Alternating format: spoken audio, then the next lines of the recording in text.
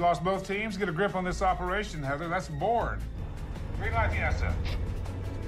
Sir, I need more time. We have no time. Are you going to give that order or not? Sir, please. You're too naive to see the truth. There's no bringing in Bourne.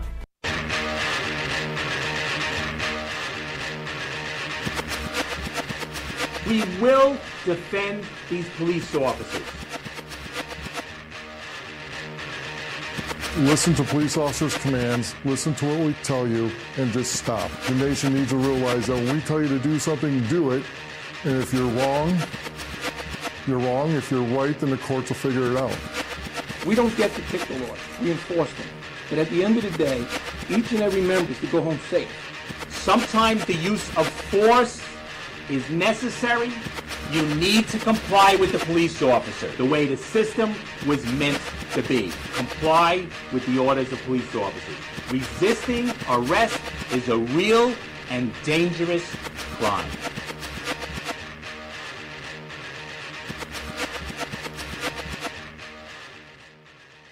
Nonpartisan liberty for all. I'm your host, Dave Bourne, and it is September 15th, 2016, and we are coming to you live from Las Vegas, Nevada.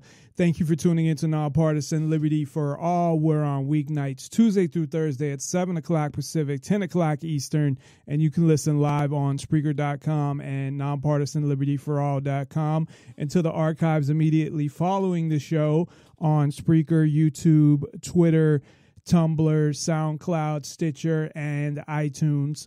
On Nonpartisan Liberty for All, we promote self ownership and the ideas of true freedom and liberty, meaning being able to do whatever you want as long as you respect the freedom of others and don't directly interfere with their freedom. Exposing government for what it is a mafia based on extortion that rules without consent by threat of force and violence. And we, of course, are always happy to hear from you. You can reach us via phone at 702 470 7664. That's 702 470 7664. Or via Skype at Nonpartisan Liberty for All. Uh, you can send a uh, user uh, request and we will uh, with just your name and what you want to talk about and we will bring you on the air. And definitely check us out at nonpartisanlibertyforall.com which has all the contact information. So if you missed a number or the skype uh, username you can find those as well as other contact information articles and blogs archives and all other types of stuff. Links to our facebook pages and other social media.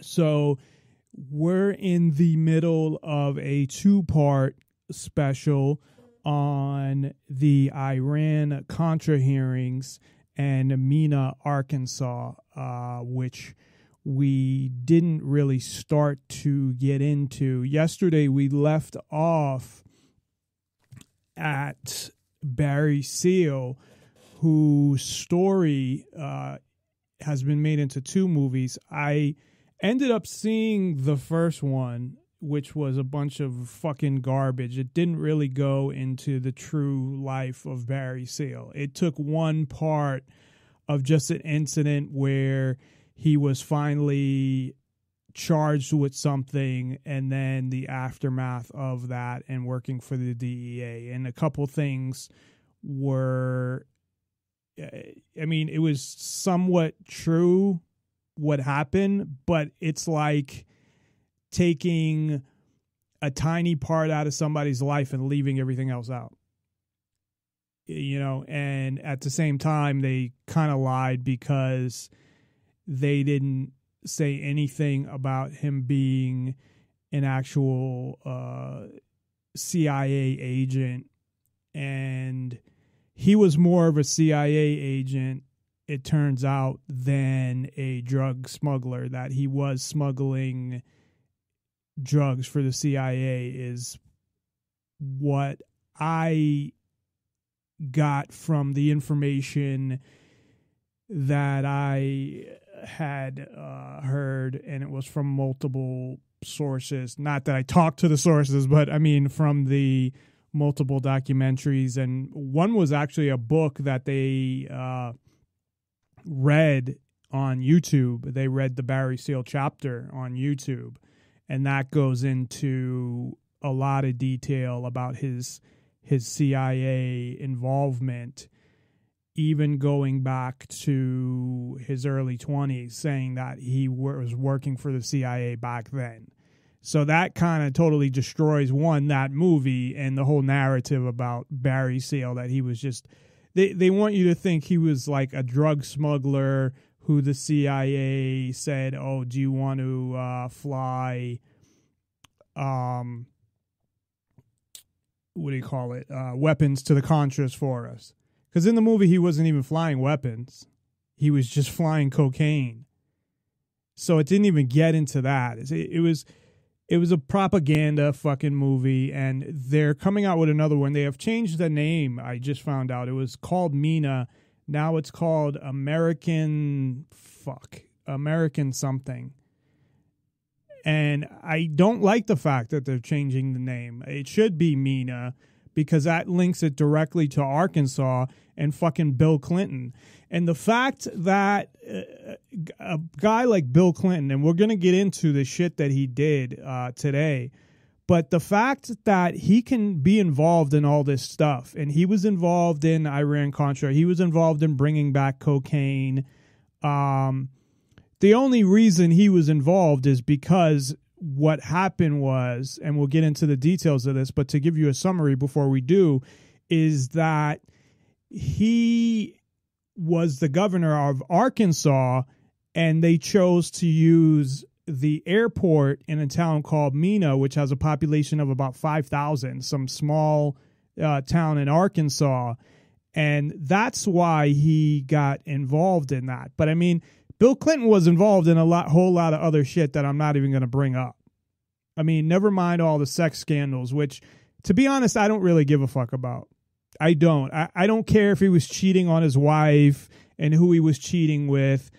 The only thing that bothers me is that if you're a governor and you're using your power as a governor to get girls jobs that will fuck you, that's not right. Um, if you have your own business, I don't think there's anything wrong with it. But if you're part of government, and the same thing with Lewinsky, my only issue with that whole thing was just that she was an intern. Besides that, I could have cared less. If if he had an affair with somebody else, even in the White House, um, you know, there's that power thing that he's the president, and if it was somebody working for him, you really shouldn't be doing that because they feel the pressure in their job that they have to do it. But I mean, Monica Lewinsky seemed like she did it willingly and didn't have any problem. Like, hey, I'll fuck the president. And she was already an intern, and I don't think she ended up getting anything out of it, to be honest. Um, she was an intern already, and maybe she got some perks out of her job, but you know, I, I just think it's wrong to have sex with an intern. But she was 23 years old. Uh, that's young, but I mean she was the age of consent and and they made such a big deal out of it. And i i know the real i realize that the big deal wasn't that he had sex with her. It was well he committed perjury. But that uh, that goes back to well he broke the rule of law. So he lied about a fucking affair man. Who would not lie about having an affair? Who wants that to fucking come out? Even if you're not uh, a serial uh, cheater like Bill Clinton, why would you want your wife, you know, to know? She might have already knew. They might have had an arrangement. I don't know. But I mean, I, I don't blame. Uh, I'm not a Bill Clinton fan because he's a fucking criminal. He's a hypocrite. Um, I don't care about the government dealing drugs neither, except for the fact that the government's making money off drugs, but they're locking people up for ten, you know for the amount of drugs that the government brought in, people are in jail for life. Okay, um, some states they might have even got the death penalty. So it's the hypocrisy because I think all drugs should be legal, But I don't think the government should be involved in any business anyway. So there you go. But it's not the oh my god, uh, you're so bad because you did cocaine or were involved in selling cocaine. It's the fact that you're a fucking hypocrite because you're the governor. You got jails full of people that are doing what you're doing and not even close to what you're doing, you know, in terms of volume. And somehow this fucking guy becomes president. Now think about it. All the stuff he did, and you think people didn't know about it? Oliver North testified in front of Congress that uh, during the hearings, I don't know if it was all of Congress, I think it was a committee, but during the Iran Contra hearings, that this, the, what was going on, not with Bill Clinton, but with the Iran Contra uh, scandal or whatever you want to call it, that it was being printed in foreign newspapers. So the whole world basically knew about it except the people of the US. Um, meaning like and he used that as almost like a defense like well everybody else knew about it and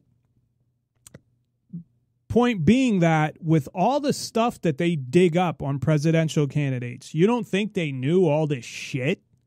And did we hear about it? Now at the time uh, clinton ran for office. I was kind of young. Um, not that young but young enough um, to you know right i think like junior high or something or high school. And i wasn't paying attention to everything that was going on but i paid enough attention where i would have remembered hearing about eh, mena arkansas and i never heard about it i didn't hear about it till um recently till i started looking at the iran contra uh, thing. I, but besides that, I have I had never heard of Mena Arkansas ever.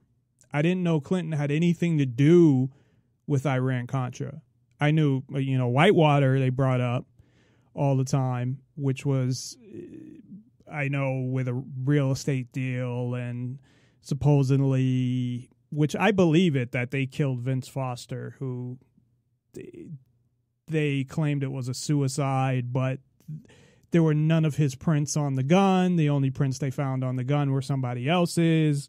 You know, all of this stuff comes out. Um, but you know, they're bad people, the Clintons, and I'm not saying this because Hillary's running for president because it's it, as you know, if you're a regular listener, it's already been decided who's going to win for president, and it doesn't fucking matter. Uh, you know voting is pointless and all of that shit but they're they, they're a, a criminal family i mean they're like the kennedys. And, and to be honest uh, the kennedys aren't really that nothing compared to the clintons because the kennedys um, were involved in selling alcohol when it was illegal. And i don't think there's anything wrong with that because it never should have been made illegal. So I don't know if they did other things like they were involved in murder and stuff like that and other type of corruption.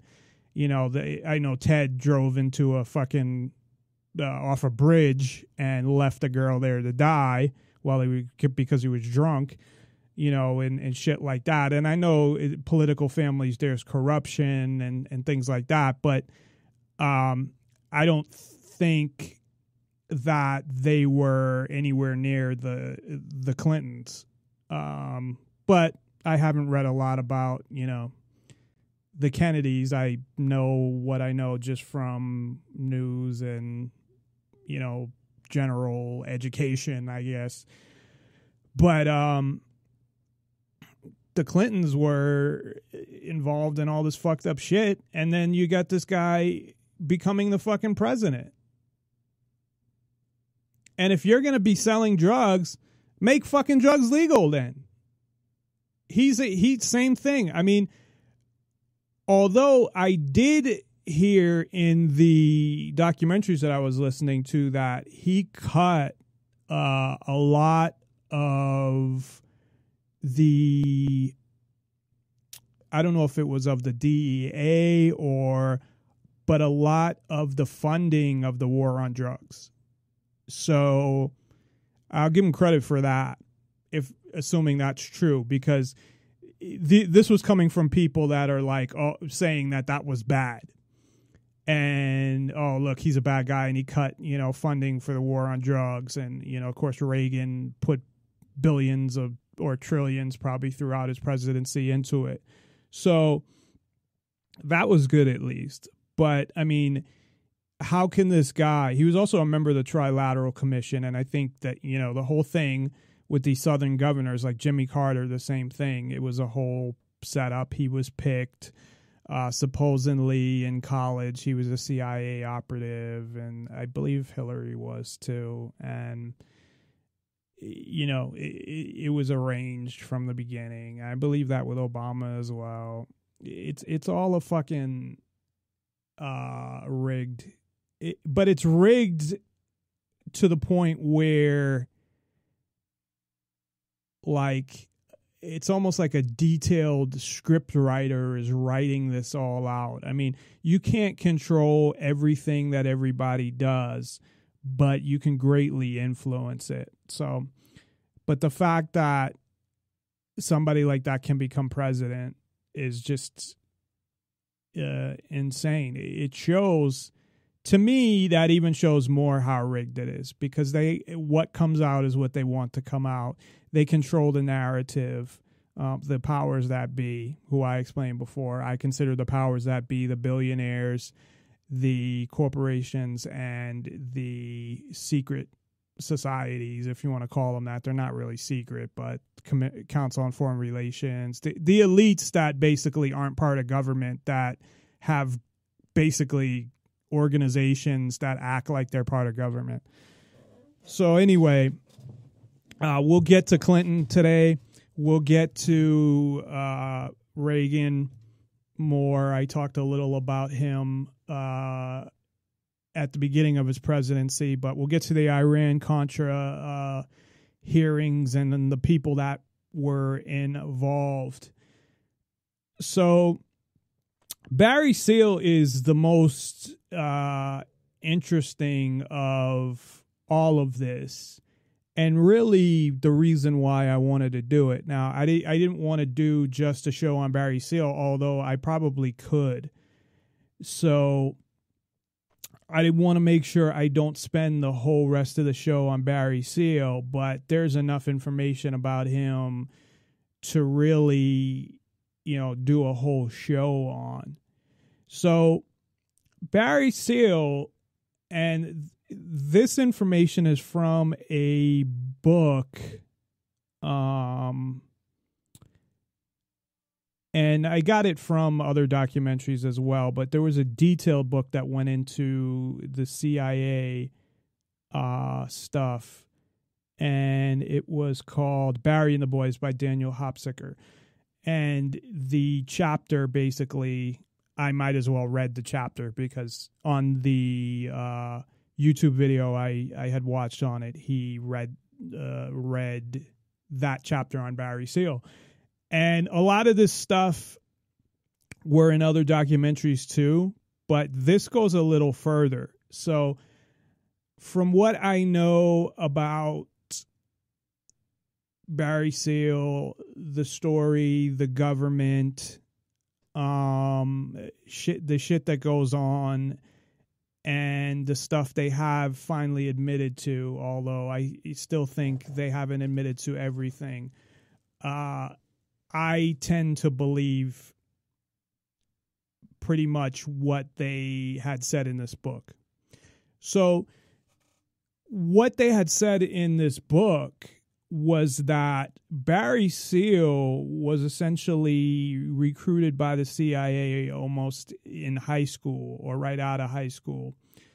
And one of the reasons was his pilot skills, I guess. And th- this I had heard from uh, a lot of people, even people that weren't uh, supporters, I guess, or part of you know people that were investigating things had said that Barry Seal was you know one of the best pilots they've ever seen, and the things that he could do with a plane, no matter whether it was a big plane or a small plane or whatever, that and and not as a fighter jet pilot. I mean, those might uh, fighter pilots may be better pilots as far as they may be able to uh, shoot them down and attack them and whatever. But just to get in and out of areas and how he could maneuver and things like that.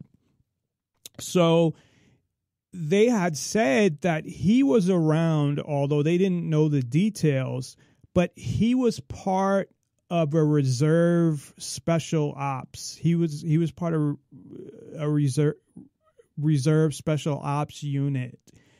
And from what they were saying is either in that unit or outside of it, but it sounded like in that unit that David Ferrie, who if you have ever seen the movie JFK is played by Joe Pesci as well as uh, uh, Lee Harvey Oswald, and um, the detective who was former FBI, um, who, again, if you had seen JFK, I can't think of his name right now, but he was a Guy Banister. He was a private detective, but he was still, you know, connected with the FBI, CIA. He's the guy who in the beginning of the movie, uh, you know, punch Jack Lemmon, and then they had if if you had seen the movie, and then they questioned Jack Lemmon. Guy Banister was, I, I guess they had also said he was a big racist, and they ran some. Um, he was at the center of the intelligence community in New Orleans. It was all in one little area, and that he also ran um, there were white supremacist fronts for white supremacist groups and shit like that and um, it's fucked up. But anyway uh, he had known him as well and that he may have known Jack Ruby and may it's possible that he was involved in the JFK assassination or knew about it or um, had something to do with it after the fact, trying to fly people, you know, out of Dallas.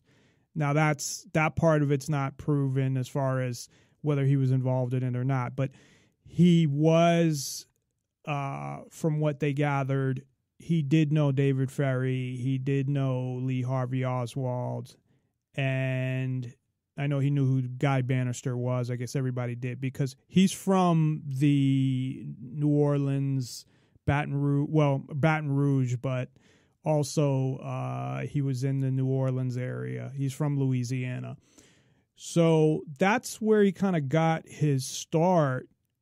They also had said that he had a skill where he could read backwards and had a photographic memory.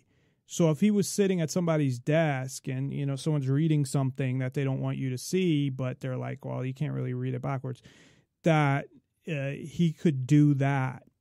And the reason I bring that up is because that adds to well, why would the CIA want a guy like Barry Seal? And I think between his plane uh, skills and that and then I guess getting along with guys like David Ferrie and uh well everybody knows who Lee Harvey Oswald is. Those who haven't seen JFK or actually read any books on it, David Ferrie was accused of uh, being involved in the plot to kill JFK. Now, he ended up dead they, of course, ruled it a suicide, but most likely he was killed. And Jim Garrison, who was the DA in, in New Orleans, who was the only person to this day to bring a case against the murderers of uh, JFK, they had said probably would have indicted him, although he might not have because he may had cooperated and testified, um, but he was killed. So, uh, but he had suspected him as being involved, and in the movie. I don't know how true this is. This is speculation by Oliver Stone. He met with um, Tommy Lee Jones's character, Clay. It was either Clay Shaw or Clay Bertrand. One was an alias. Clay Shaw, I think, who was the guy who was the only guy they charged uh, with the murder of uh, being involved in the plot. Uh, they charged him with conspiracy to kill JFK. And it was admitted later that he did work for the CIA and ran fronts for them and stuff like that. So whether he was involved in the plot to kill him, I don't know, but he probably was. Um, so anyway, that was kind of the beginnings of Barry Seal. So they, in a lot of stories, make it out to be that, like in the movie, he was a drug smuggler who started working for the DEA and the CIA as opposed to the other way around. Now, it doesn't, I don't know how he went from the CIA to becoming a drug smuggler. I would assume that it was under the CIA and he made these connections and if he's anything like the character Dennis Hopper played, which he seemed like he was when they interviewed him, like a friendly, he was kind of a, you know, making jokes all the time type of guy, that he made these connections. And because he could fly planes the way he could, he was the guy who they had fly the equipment on, or uh, not equipment, but supplies to the Contras. So to kind of cut in there and back up, we had talked about this yesterday that in 1984 they had cut off funding the Contras, but even before that, and I don't know if Barry Seal, I know he they had said he set up in like 82 and originally in New Orleans or in uh, Baton Rouge, and then he moved out to Mena, Arkansas, I think in 82. And the Iran, Con- not the Iran Contra, but the Contras themselves, and when the, the U.S. got involved was kind of when it first happened, uh, 79, 80. Um, well, probably 81 when Reagan uh, got in office. But that's when the Sandinistas took over in 79, 80, something like that. So it was right around the same time that Barry Seal was smuggling drugs. But even before Congress passed a bill that said we're not going to fund uh, the Contras anymore in 1984, I believe he was flying in uh, supplies to the Contras at that point. So, because they still needed, whether they were getting money from the U.S. government or somebody else, they needed to be able to fly into Nicaragua somehow and drop the supplies.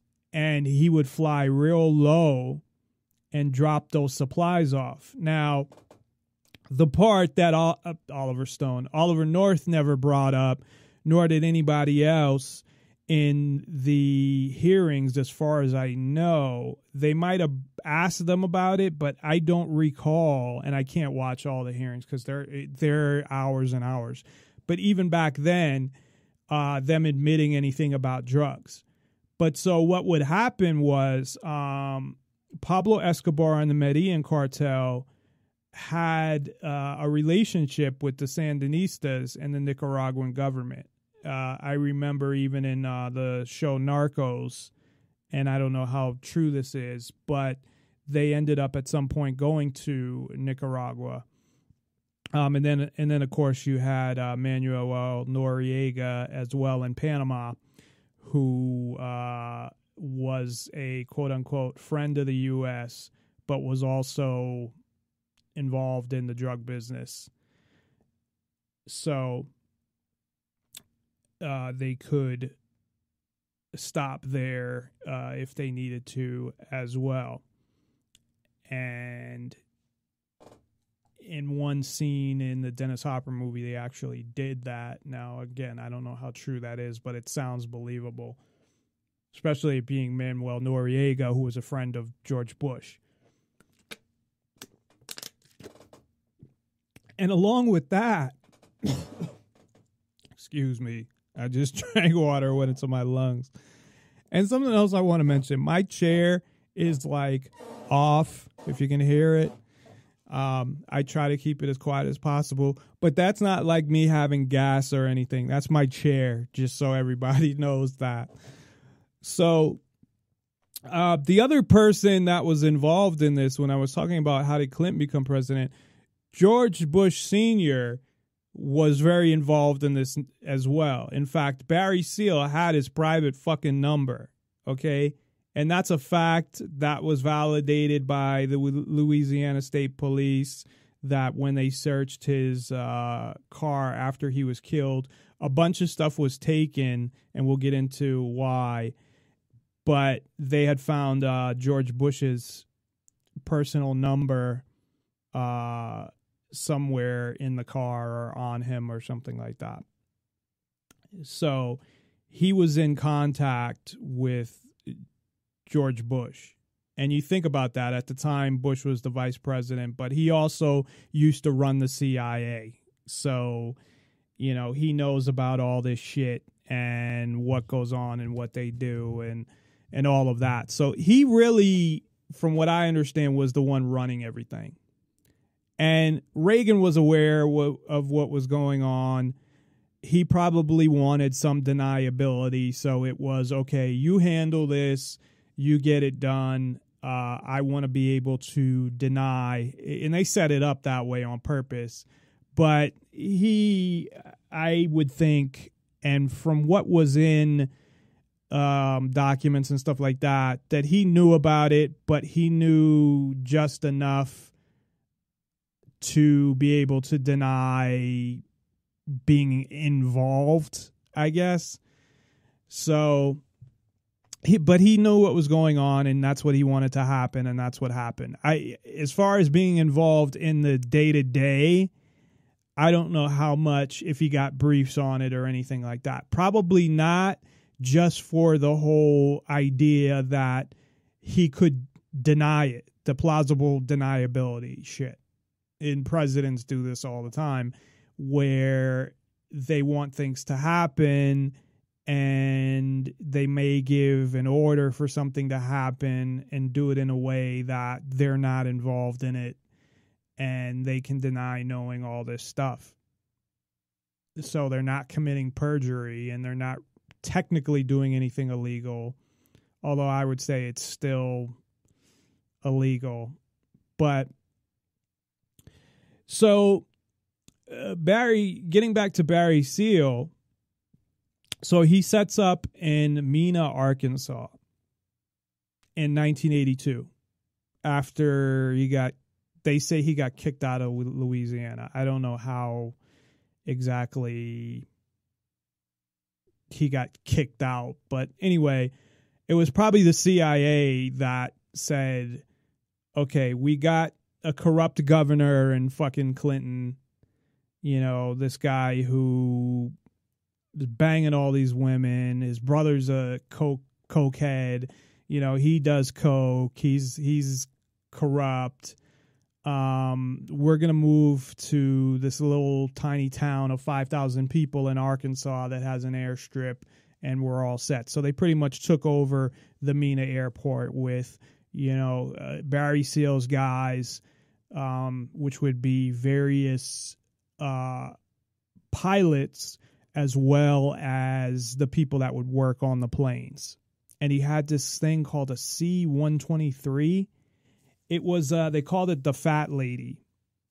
And I think even Pablo Escobar called them like uh, El Gordito or something like that. And which means, well, that means the fat. But um, he might have called him the fat man or something. But Gordito, Gordito uh, is fat, or Gordo's fat. But you know, um, so he moves there.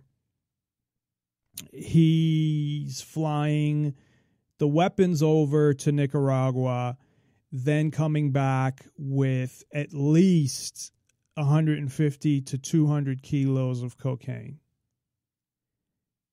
And who he's moving that stuff to, I have no idea. Uh, most of the pilots, from what I understand, were just bringing it into the country and handing it off who to whoever they told to hand it off for. They didn't get a percentage of the profits or have anything to do with actually selling the drugs they were just the transporters and they'd make like $500,000 a flight. And you're talking about the 80s. I mean, that's a lot of money now. So he'd make that money and then I don't know the details it, it didn't go into, which is kind of irrelevant, you know, who would uh, come to pick the stuff up. But, you know, you're talking about 200 kilos. That's a, lot of cocaine, and I don't know how often he would uh, fly these missions, but and whether and I'm sure he would go there both uh, to drop off weapons as well as to pick up cocaine. So when he dropped off the weapons, he picked up cocaine, but I don't think it was just well, he only picked up cocaine when he dropped off the weapons. And he had actually started with weed and then he ended up getting hooked up with the Medellin cartel. Uh, according to the movie with Dennis Hopper, somebody else hooked him up, and I kind of looked that up. And in Wikipedia, it says the there was a friend who hooked them up with the Medellin cartel. Uh, Wikipedia is written by people, plus it didn't go into anything about the truth about Barry Seal, and I don't know how reliable that is. But uh, however he got involved, at the time, they were the biggest in the world when it came to cocaine. It was the Medellin cartel. Later, after Escobar was killed, and even when he uh, went on the run, um, you know, they kind of things kind of slowly fell apart. The Ochoa brothers, I believe, kept on after uh, Pablo Escobar was killed because I was talking about yesterday the Medellin cartel, the Ochoa brothers and Escobar were the main uh, people in the Medellin cartel, and then there was uh, Gaucho, but he was killed in I'm not sure about the year. Carlos Lehder, which ended up going to jail. And by the 90s it, by 1990 it was really just escobar and the ochoa brothers. And that was it. And then even they started uh, to have uh, uh, i think a fallout at some point um, but i'm not sure if at the time uh, pablo escobar died if he was still um, in contact with them or or, or not. Um, but after that, then the Cali uh, cartel kind of took over, which is another part of Colombia, and they were kind of you know had a truce with each other, but ended up going to war um, with each other to an extent. And they had hooked up with the Castro brothers, not no relation to the Cubans that started this uh, group, the People Against Pablo Escobar, or something like that, and were killing uh, a whole bunch of people as well. Anybody that was involved with Pablo Escobar. and a lot of this is in the uh, the show Narcos. Uh, season two actually just came out a couple weeks ago, and I guess this is a spoiler, sort of. But being that it's it's well known that Pablo Escobar was killed in 1993, the first two seasons uh, cover the life of Pablo Escobar, and at, and at the end, it's of uh, Narcos is goes up to the end of Pablo Escobar's life, the first two seasons, and it, and they left it open. I think what's going to happen is in season three, it's going to be the Medellin cart, uh, the Medellin, the uh, Cali cartel that they go after, and I think it's going to turn more into fiction than uh, being more based on uh, the actual events, even though a lot of it didn't happen with the agents. A lot of the stuff with the actual agents didn't happen because I had seen a uh, speech by the real agents that are portrayed in Narcos. Because anybody who's seen Narcos, it's a Netflix original. It covers two DEA agents from the U.S. and their search for Pablo Escobar and to bring down Pablo Escobar and it, it, also you know goes through the life of Pablo Escobar. I think it went through it way too fast because it went through his life in two seasons. I mean, they could have done it in a lot longer. You know, the first season you're already at I think 1991 or something and Escobar died in 93. So and that's the only reason I bring up, you know, the end of it is where he dies, where he, you know, because he actually died in 93. But I mean, that's what I expected anyway. I mean, knowing uh, what I know about Pablo Escobar's life, it was obvious that they couldn't, they brought it far enough where the end of that season, there was no place else to go if you're going to stay true to his life.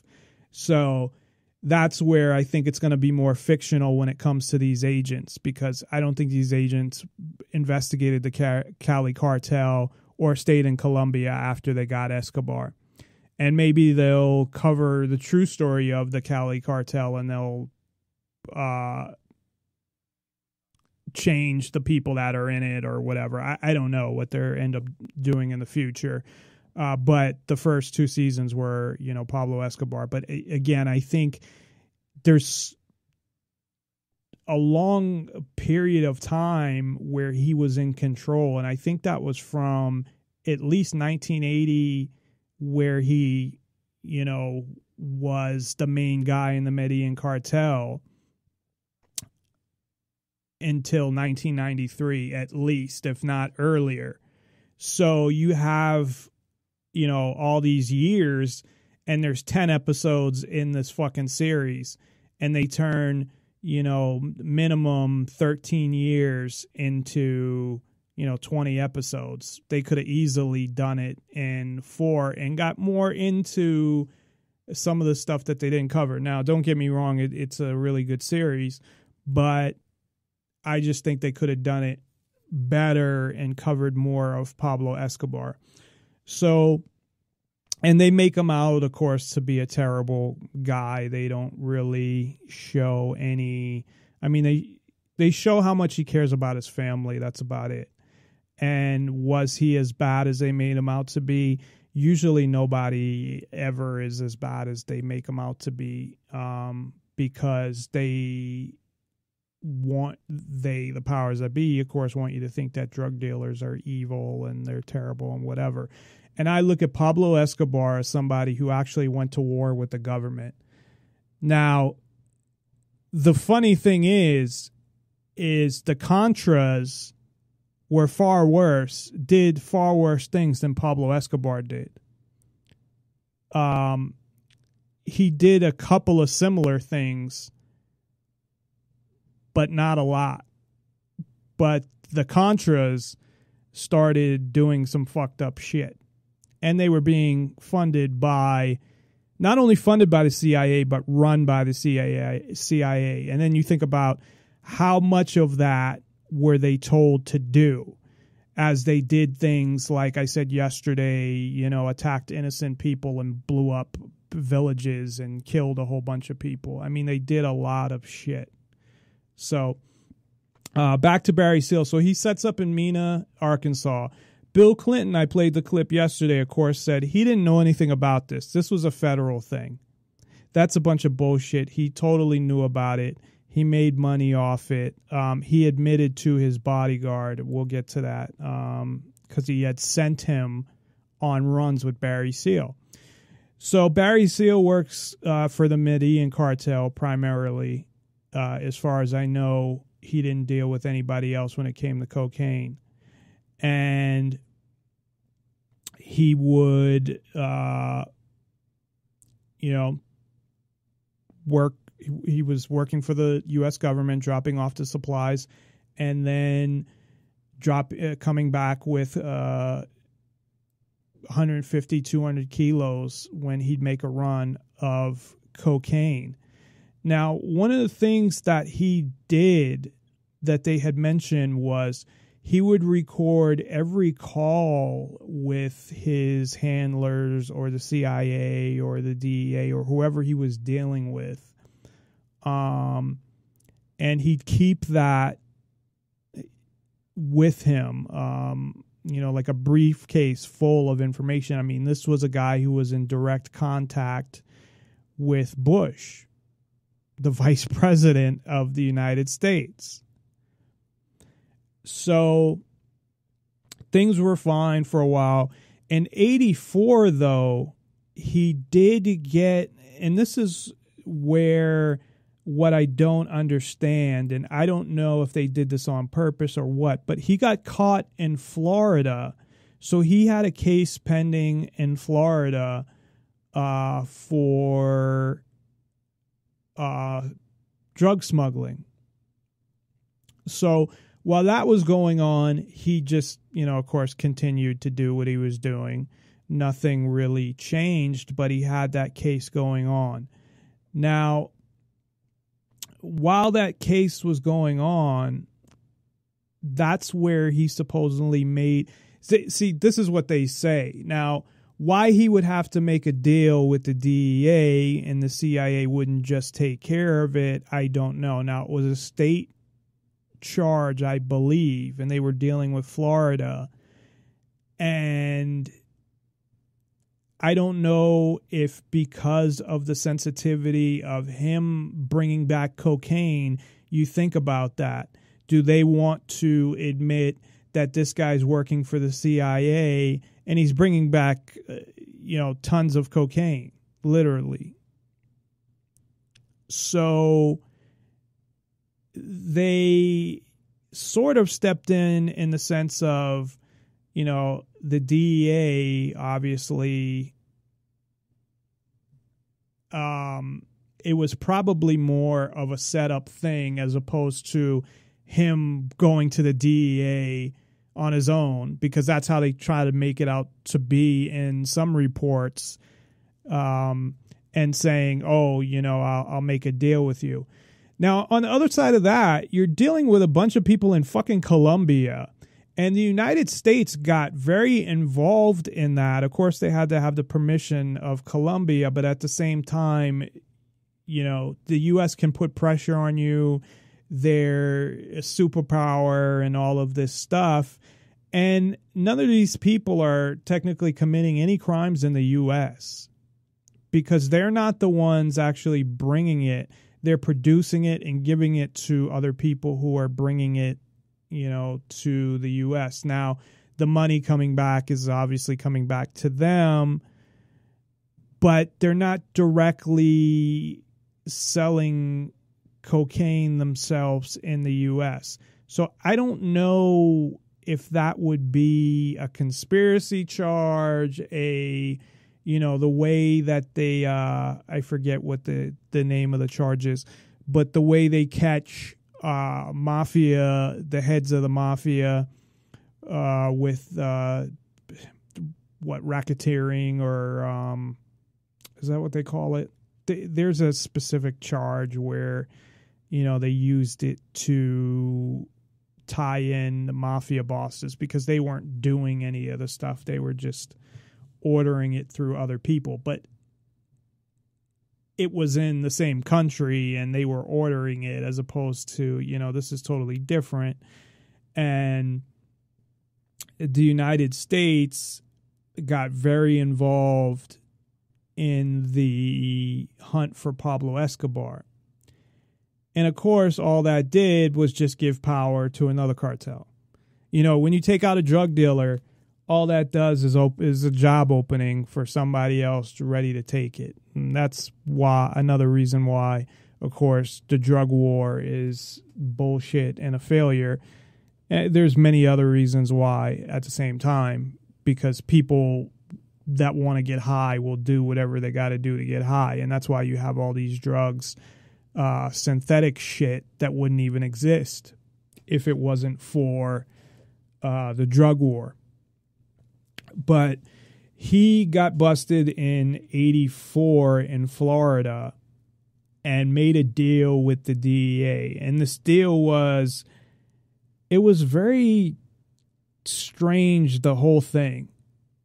And that's kind of, I guess, how you know that it, they tried to, like, he wasn't going to jail.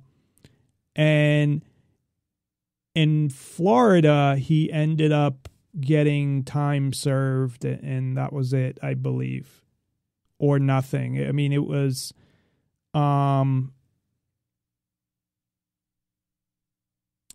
it was uh, uh essentially, you know, you do this, and it didn't seem like what I'm getting to is it didn't seem like a deal that you would normally expect somebody to get.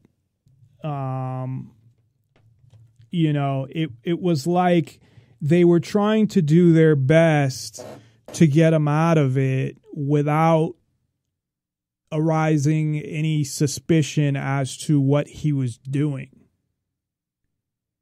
so he agreed to i guess testify against which I don't know what this does, but against the Medellin cartels and or the members of the Medellin cartel.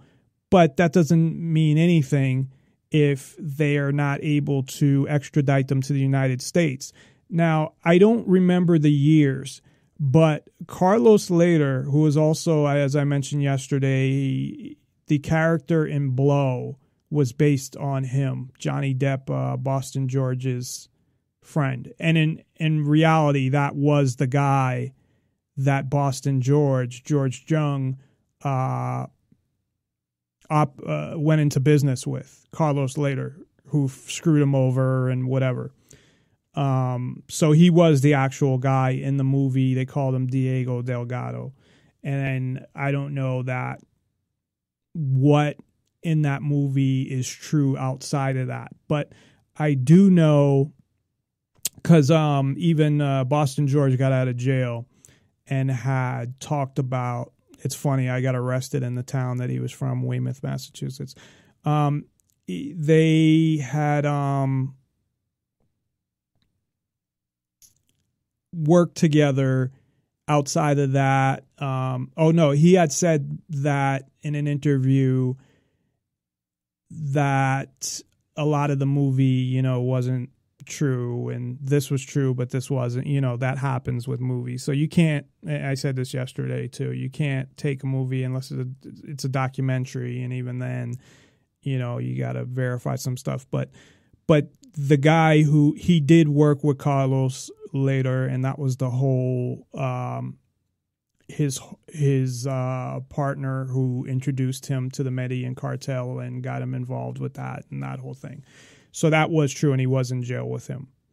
So he ended up being extradited. So in Colombia, and this is why Pablo Escobar for a little while was actually part of the their government their I forget how it's set up the Senate or Um, I don't know what they called it over in Colombia, but he was a alternate.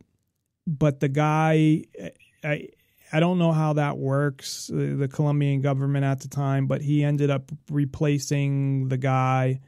Um, he didn't kill him or anything. He either stepped down or whatever.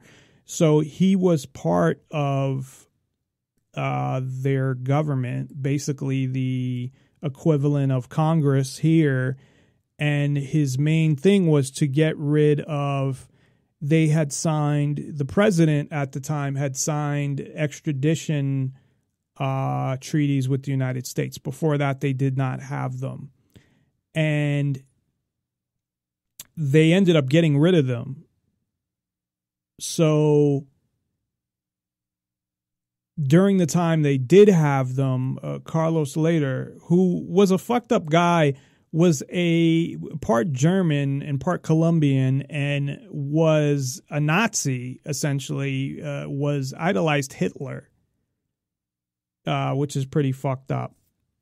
And they don't obviously cover any of that in the movie Blow, and not that they should. I mean, it doesn't really, it's not really relevant to what's going on in the movie, but he uh, had a Nazi tattoo at least in the um in the show, but I think he had one in real life, and I've seen him uh, a speech that he gave. He started getting political over um, and going on radio because they were speaking out against this uh, extradition. But at the time that uh, Barry Seal was supposed to testify about you know, again, I don't know what this would do. I guess he had told the Medellin cartel about it and said that he was going to testify against the United States because of all the information that he had. So supposedly he wasn't worried about the Medellin cartel coming after him. Now, in his murder, and we'll get into details a little later, but um, it's all always reported that the Medellin cartel killed him because they hired Colombians, but it's pretty well, um, I think, proven through others' testimony, not testimony, but through others, um, including the Louisiana State Police, uh, that most likely Oliver North and through other uh, information that Oliver North ordered the hit on Barry Seal, and that came most likely from George Bush. Um, a couple weeks before that, George Bush had um, he had threatened to uh, threaten George Bush and to release information about them. So we will uh, get to that. So in 1984, also was when Congress passed a bill that they can no longer fund the Contras. So that's done as far as the funding. So they said, of course, and Reagan wasn't involved in this according to some documents. But again, as I was saying, I don't think he was that closely involved and it was okay you know i from what i understand it was bush who was running everything but still under the orders of reagan to you know and he might have even said it in a way that he couldn't be held accountable but reagan had as i was talking about yesterday of course his everything's a war with the government, right? So his war basically on communism that if Nicaragua's communism, if if they continue to be a communist country, that could spread to the rest of South America, alliances with the Soviet Union, blah blah blah. Because of course, all communist countries are going to like each other and uh, support each other, which is the the concept of just because you have the same government it's ridiculous. So and they should have sta totally stayed out of it. But of course, the United States never stays out of anything. And I'm sure that they've influenced 90 something percent via covert operations of uh, elections and of the operations of countries throughout the world. You know, uh, a couple offhand is, uh, of course, Iran, Chile, most of the countries in the Middle East. Um, Africa, I believe they got involved in, although the English and French, I think especially the French were heavily involved in in Africa and certain countries. But definitely Central and South America. Um, of course, uh, Panama with Manuel Noriega, who they later sent the army in to arrest. Eh, it's crazy. It's like one minute, yeah, you're our friend until we don't need you anymore, and then uh, we're gonna fuck you over. And I'm being America what the what the American government says, because it's not a we. And I had mentioned the last couple days that somebody said something about you know the people are the government, which is so far from reality. Um, I don't know. So in 84, those two things had happened. So that's when, you know, Oliver North, who I believe was, I mean, they were already running all of this anyway. So I don't think it changed anything except the funding. So they're all involved in this. And it's like, okay, we need to continue but we don't have the funding. Congress uh, isn't funding us anymore. So, how are we going to get the funding? And that's where they had already dealt with Iran and the hostage thing. This is only three years later. They had also told Iran they would give them weapons. So I don't know if they had been giving them weapons or not, but I mentioned this Bonifar guy who was there when they made the deal to hold the hostages until Reagan was elected. I was going to say erected. And Oliver North dealt with him and some other people and said, okay, we'll sell you, you know, all these weapons because we need money to fund the war in Nicaragua. So I'm going to take a quick break. When we come back, uh, we'll continue with Barry Seal, uh, how Bill Clinton gets involved and basically was involved, I think, since 82 uh, when it, it started at uh, Mena Airport and and the uh, other things that had went on investigations people getting killed cover-ups and and all of that stuff. So we'll take a quick break and play some important clips. And then when we get back we will talk all about or we'll continue all about Barry Seal and Iran Contra and all of these corrupt politicians that three of them were actually presidents Reagan, Bush became president. Same thing. How did this fucking guy become president after all the fucked up shit he did? The same way Clinton, uh, you know, became president. But uh, we'll talk about that and more when we come back. So be sure to check us out at Nonpartisan Liberty for All. And of course, if you'd like to call in and comment or you have any additional information that you'd like to discuss, you can call us at 702 uh, 470 7664. That's 702 470 7664. Or send us a contact request on Skype to Nonpartisan Liberty for All. It's all one word with your name and what you want to talk about. And if you call us, it'd be better. Just send a text of what you want to talk about, and I can just call you back.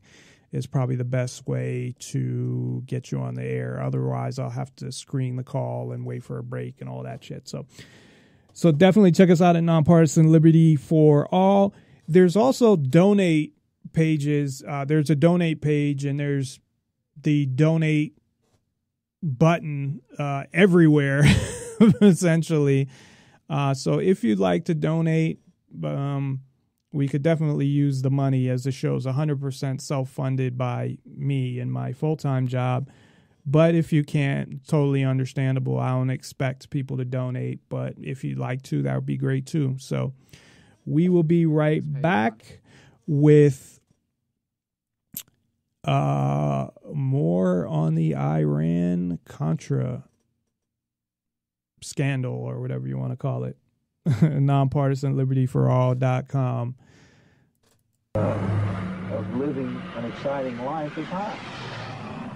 Uh, you can't sit in Baton Rouge and uh, go to work from 9 to 5 on Monday through Friday and go to the LSU football games on Saturday night and church on Sunday morning and have an exciting life. That may be exciting to 99% of the population, but to me it's not. And the exciting thing in life to me is to get into a life-threatening situation. Now that's excitement. This is Barry Seal, a highly publicized drug smuggler originally operating out of Baton Rouge, Louisiana. Since 1978, he carried out one of the largest drug smuggling operations between the United States and Central America. In the spring of 1982, Louisiana State Police warned Seal that they would tail him wherever he went in efforts to stop his operation. It's believed that Seal decided to move his operation out of that state after the warning. It was here at Rich Mountain Aviation that authorities believed Barry Seal moved his operation. Terry Capehart owned a business at the Mena Airport, and he remembers when he first met Barry Seal in 1981. Of course, I didn't know who Barry Seals was, never heard of the man. And uh, Freddie introduced me to him. Capehart didn't know of Seal's drug background then, but remembers that this man, Joe Evans, former partner of Freddie Hampton's, brought in one of Seal's planes to Rich Mountain Aviation. Evans declined to comment for TV5 News, saying it's his policy to, quote, keep quiet, unquote. Capehart said he began to see more and more of Barry Seal, especially after the spring of 1982.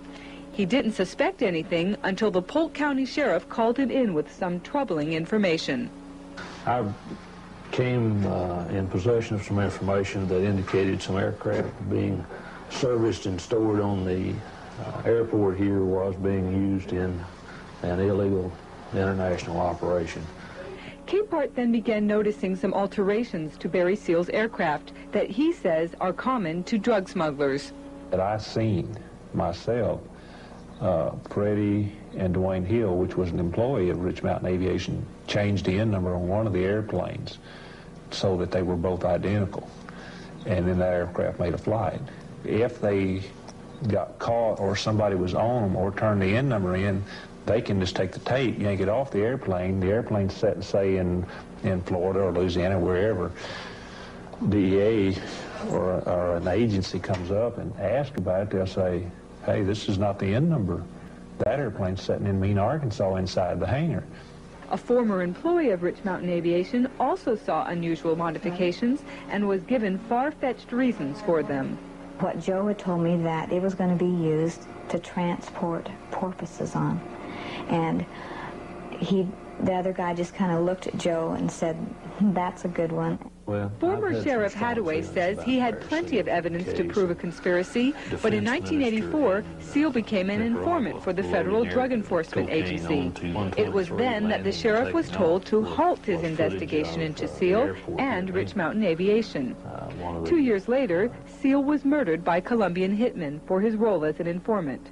The grand jury is expected to look into the activities of Barry Seal at Mena Airport prior to 1984. Local investigators believe they have a strong case, but have wondered why it's taken so long to come to court. Tomorrow night we'll show how the covert smuggling of arms to Contra rebels in Nicaragua may have slowed down one aspect of drug investigations by local authorities. This man, the late Barry Seal, was a known drug smuggler whom authorities believed moved his drug smuggling base of operation from Baton Rouge, Louisiana to Mena, Arkansas in 1982.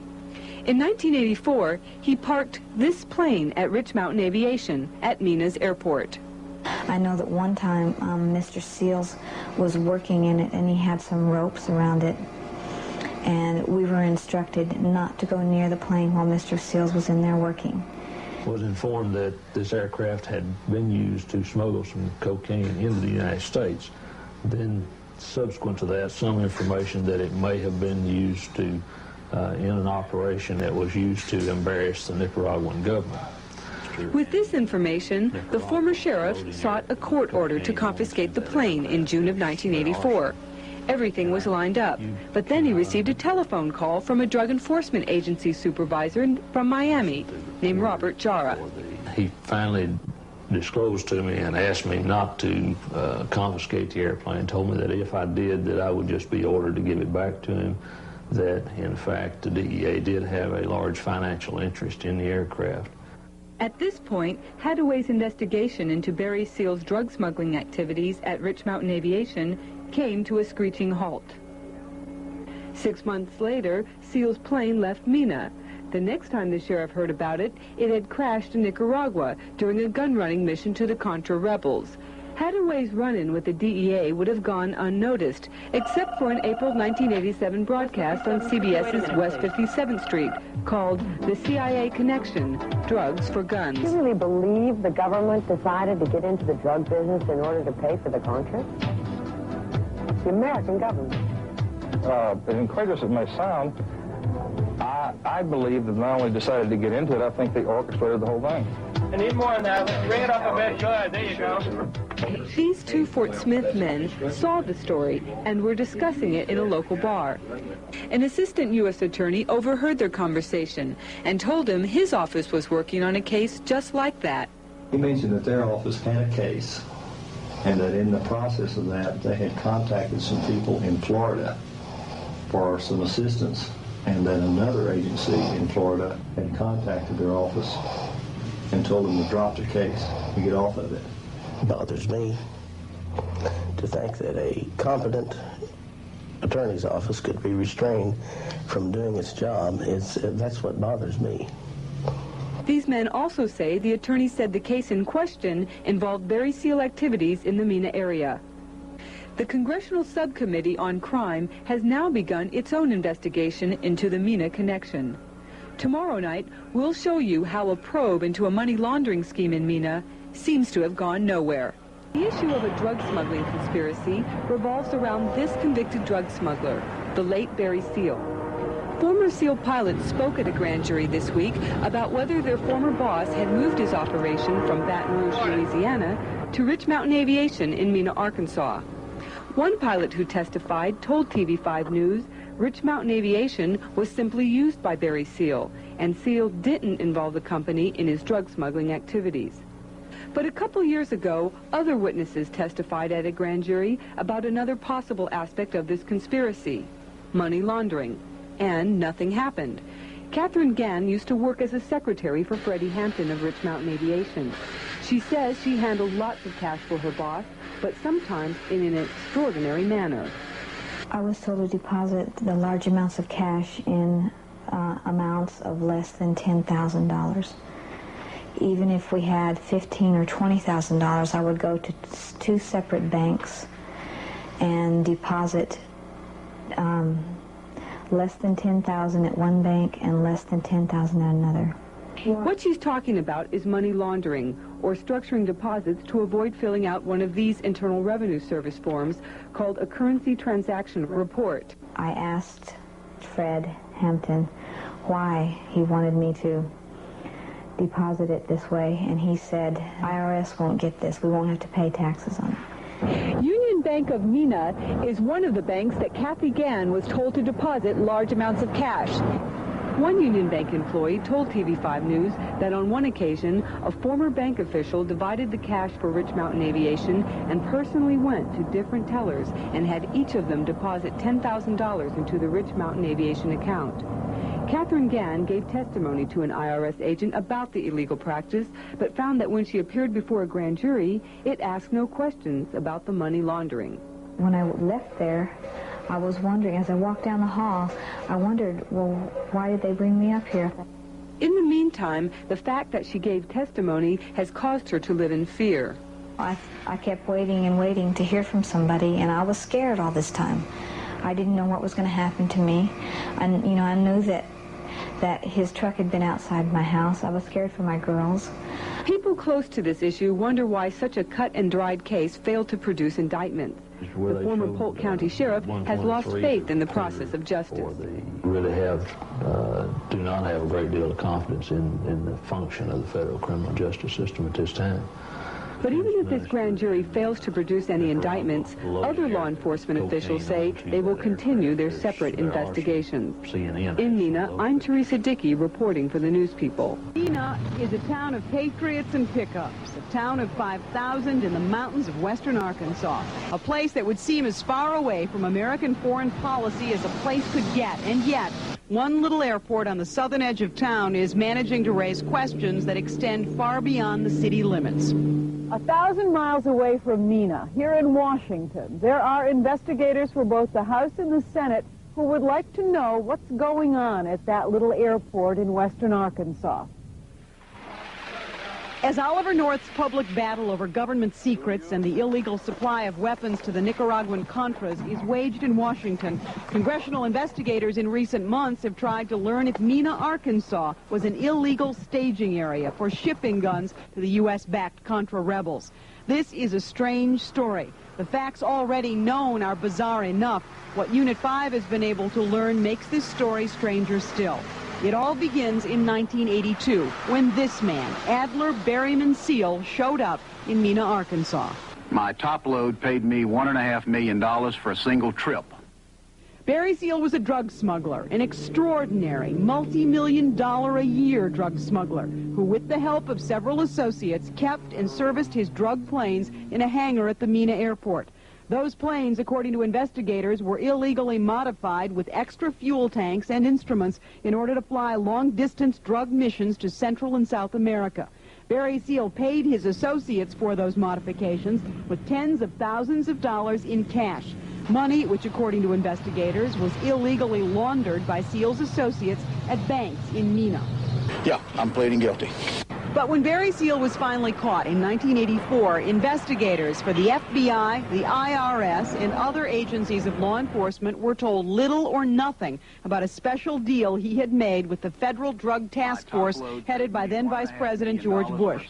The deal? The government kept Barry Seal out of jail, and in exchange, Seal became a drug informant and helped put in jail some of his own associates in the international drug trade. But that wasn't all that Barry Seal did.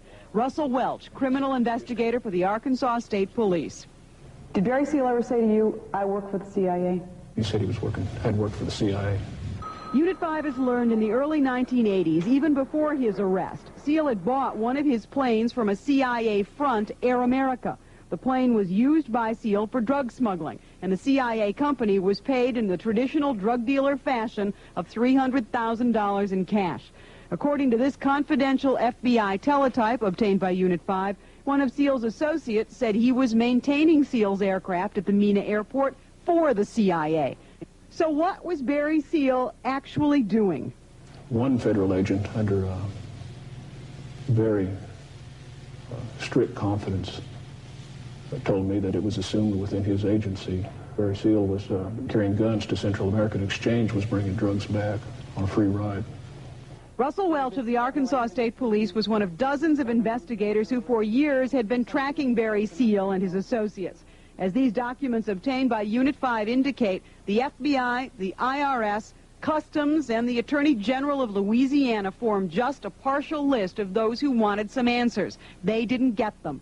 Internal FBI documents indicate investigators were told not to look into any of Seal's activities that occurred before his 1984 plea agreement.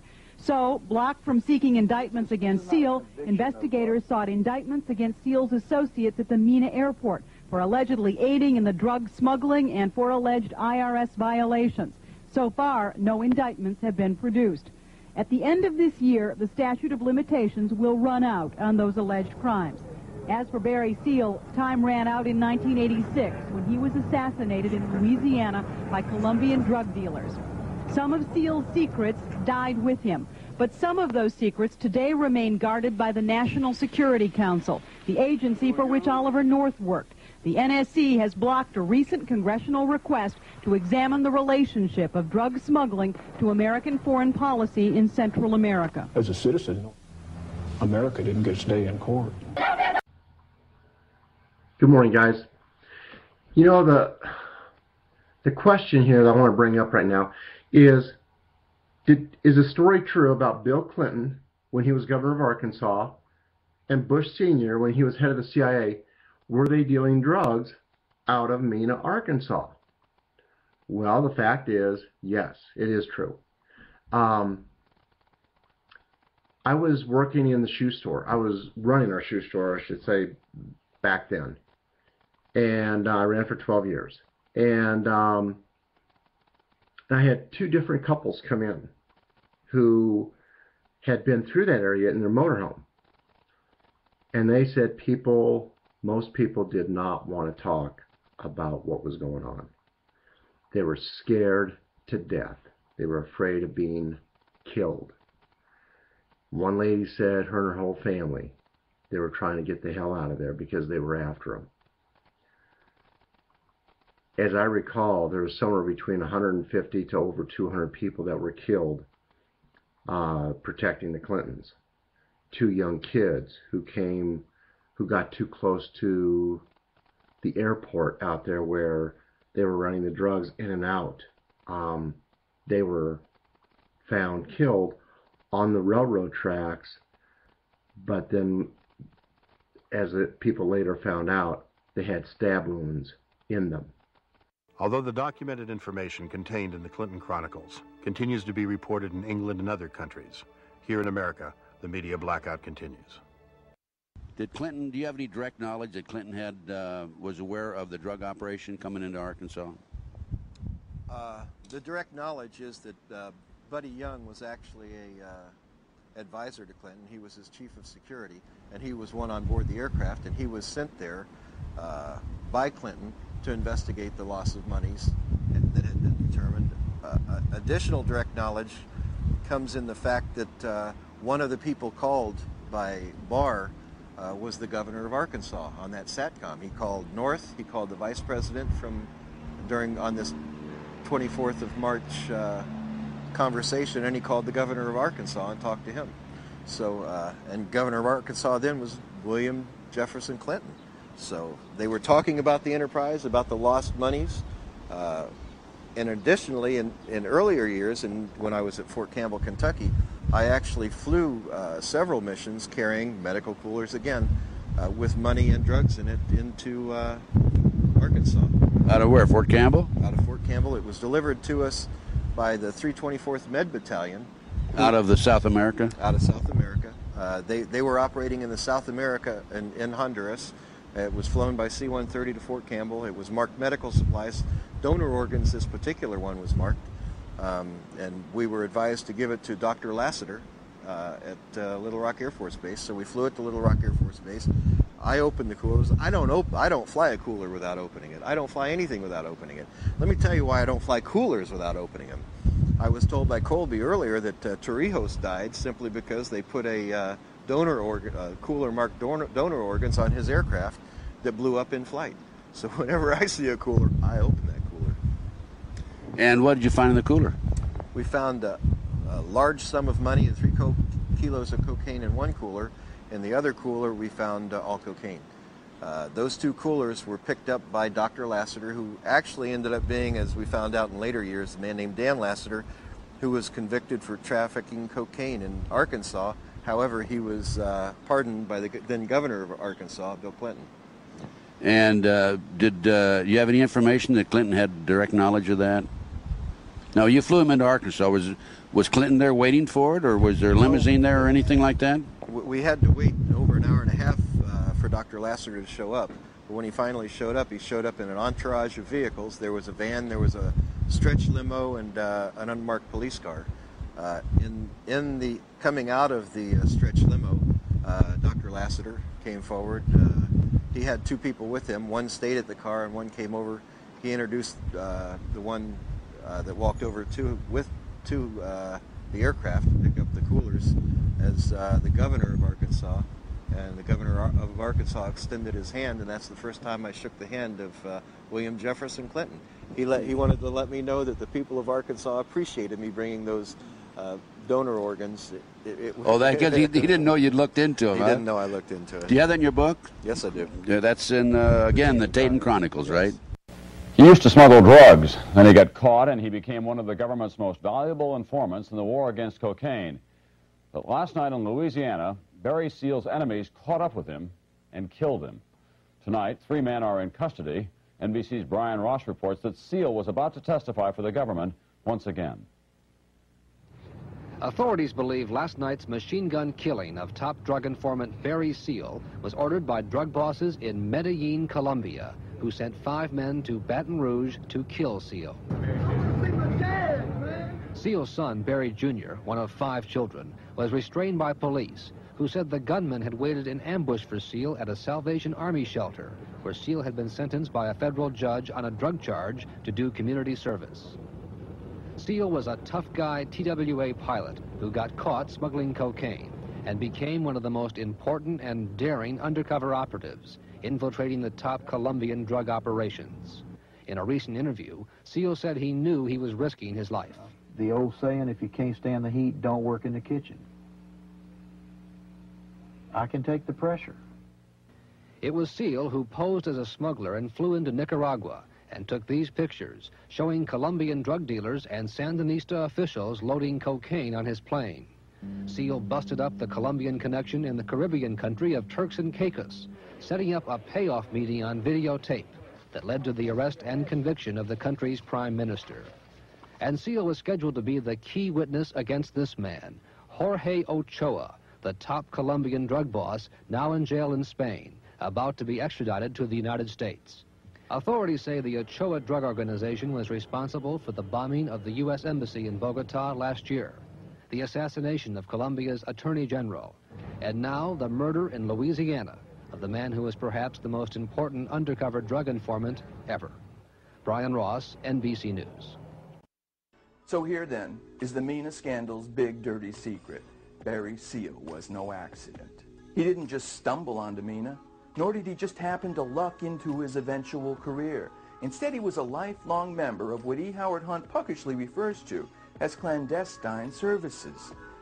I mean, I sat out here at this airport at the state hangar while the uh, DEA people sat over there watching him modify a Beech 18 right out here on the ramp.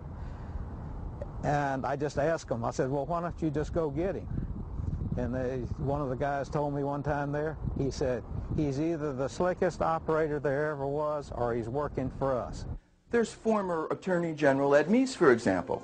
Top IRS investigator Bill Duncan was prevented from testifying to Congress about what he knew about a $400,000 bribe which Barry paid Ed Meese.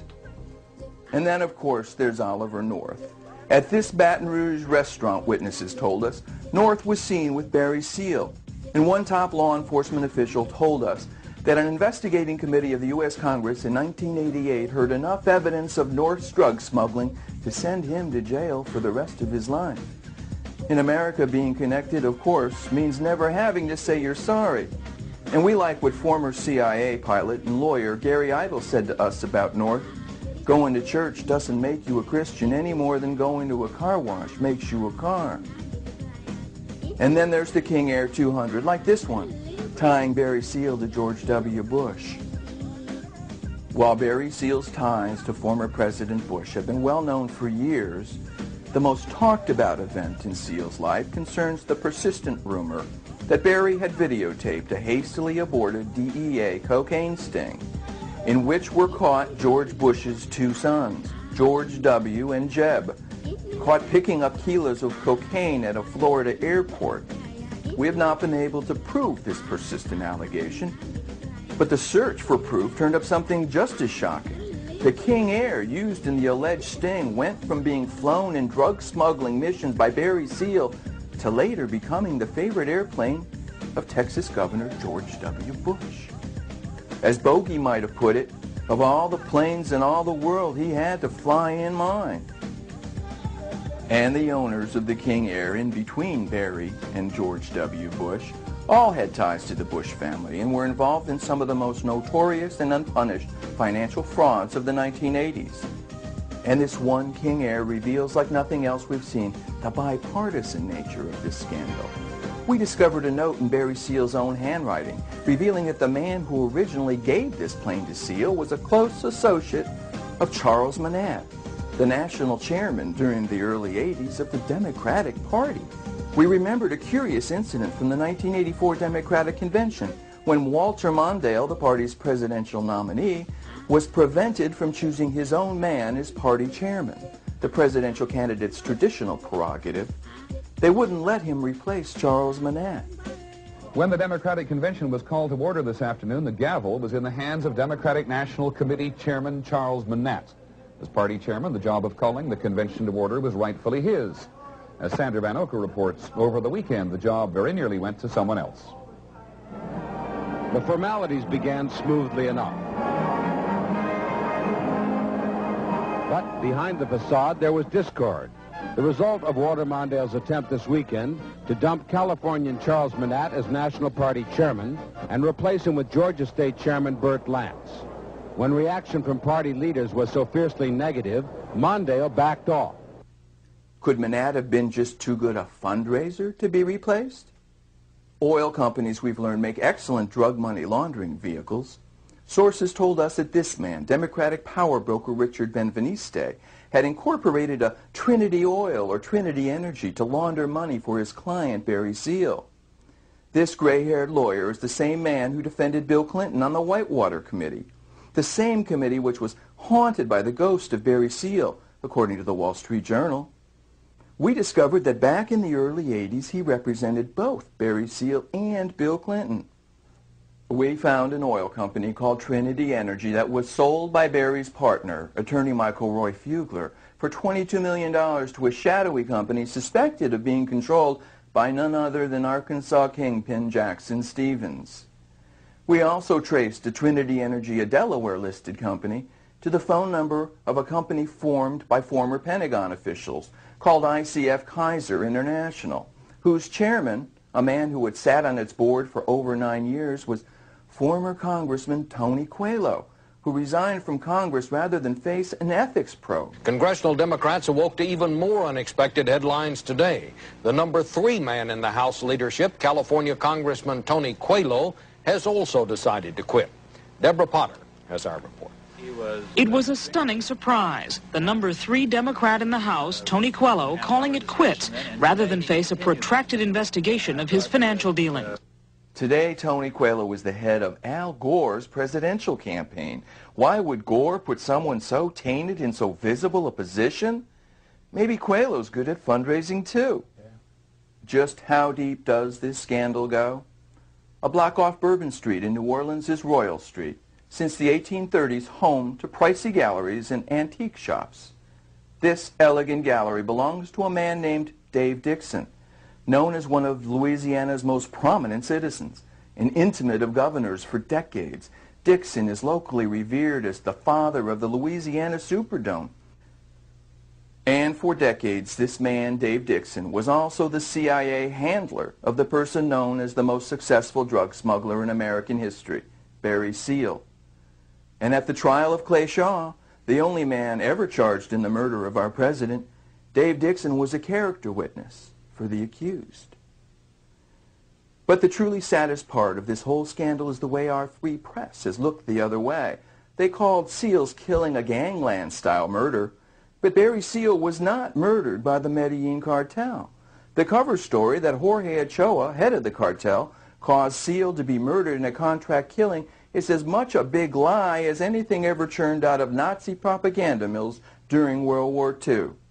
Incredibly, we discovered that on the night Barry Seal was slain, three other top lieutenants of the Medellin cartel were also murdered. As our lead story, Metro News has uncovered some new information in the investigation into the assassination of Barry Seal. Reporter Dana Kay has the story. Metro News has learned that there were a total of four drug-related killings the same day Barry Seal was gunned down here in Baton Rouge. And all of them seem to have been connected to the same drug ring operated out of Colombia. Metro News reported last night that a Colombian named Pablo Carrera was shot and killed in Colombia the same night Barry Seal was gunned down in Baton Rouge by a professional hit squad. Carrera was identified as the number two man in the Colombian drug organization headed by Jorge Ochoa. Metro News has now learned that two other Ochoa associates were shot to death at the same time. Another Colombian, Pablo Achilla, was executed in Colombia, and the fourth Ochoa associate to die was a woman identified only as Barbara. She was killed in Miami. Who killed Seal? Just 10 days before he died, in a typical display of the fearlessness for which he was justly famous, he threatened to expose the gun running and drug smuggling that flourished in Mena, Arkansas. The man he threatened, then Vice President George Bush. All three of the guys on trial, Richard Sharpstein, the Miami attorney for one of the Colombians convicted, told us, all told their attorneys that once they reached the U.S., their actions were directed by a military officer, whom they very quickly figured out to be Lieutenant Colonel Oliver North. Barry Seal died for a simple reason a reason which redeems him somewhat in our eyes. He was getting ready to talk. There's more, much more, to this story than we have time for here. It's in our book, Barry and the Boys. And a full airing of the Mena drug scandal can be found in our two-hour special, The Secret Heartbeat of America. You can receive either or both by priority mail by calling the phone number shown at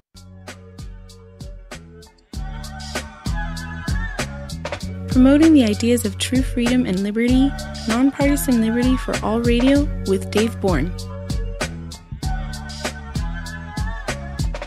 Nonpartisan liberty for all, nonpartisan liberty for all.com.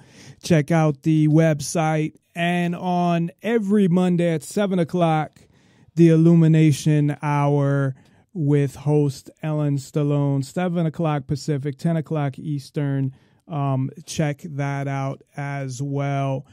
So, uh, a lot of information in those clips, and we're going to talk about uh, some of those. So, regarding Barry Seal, and this is, I guess, how I see the um, arrest in Florida and how they dealt with it.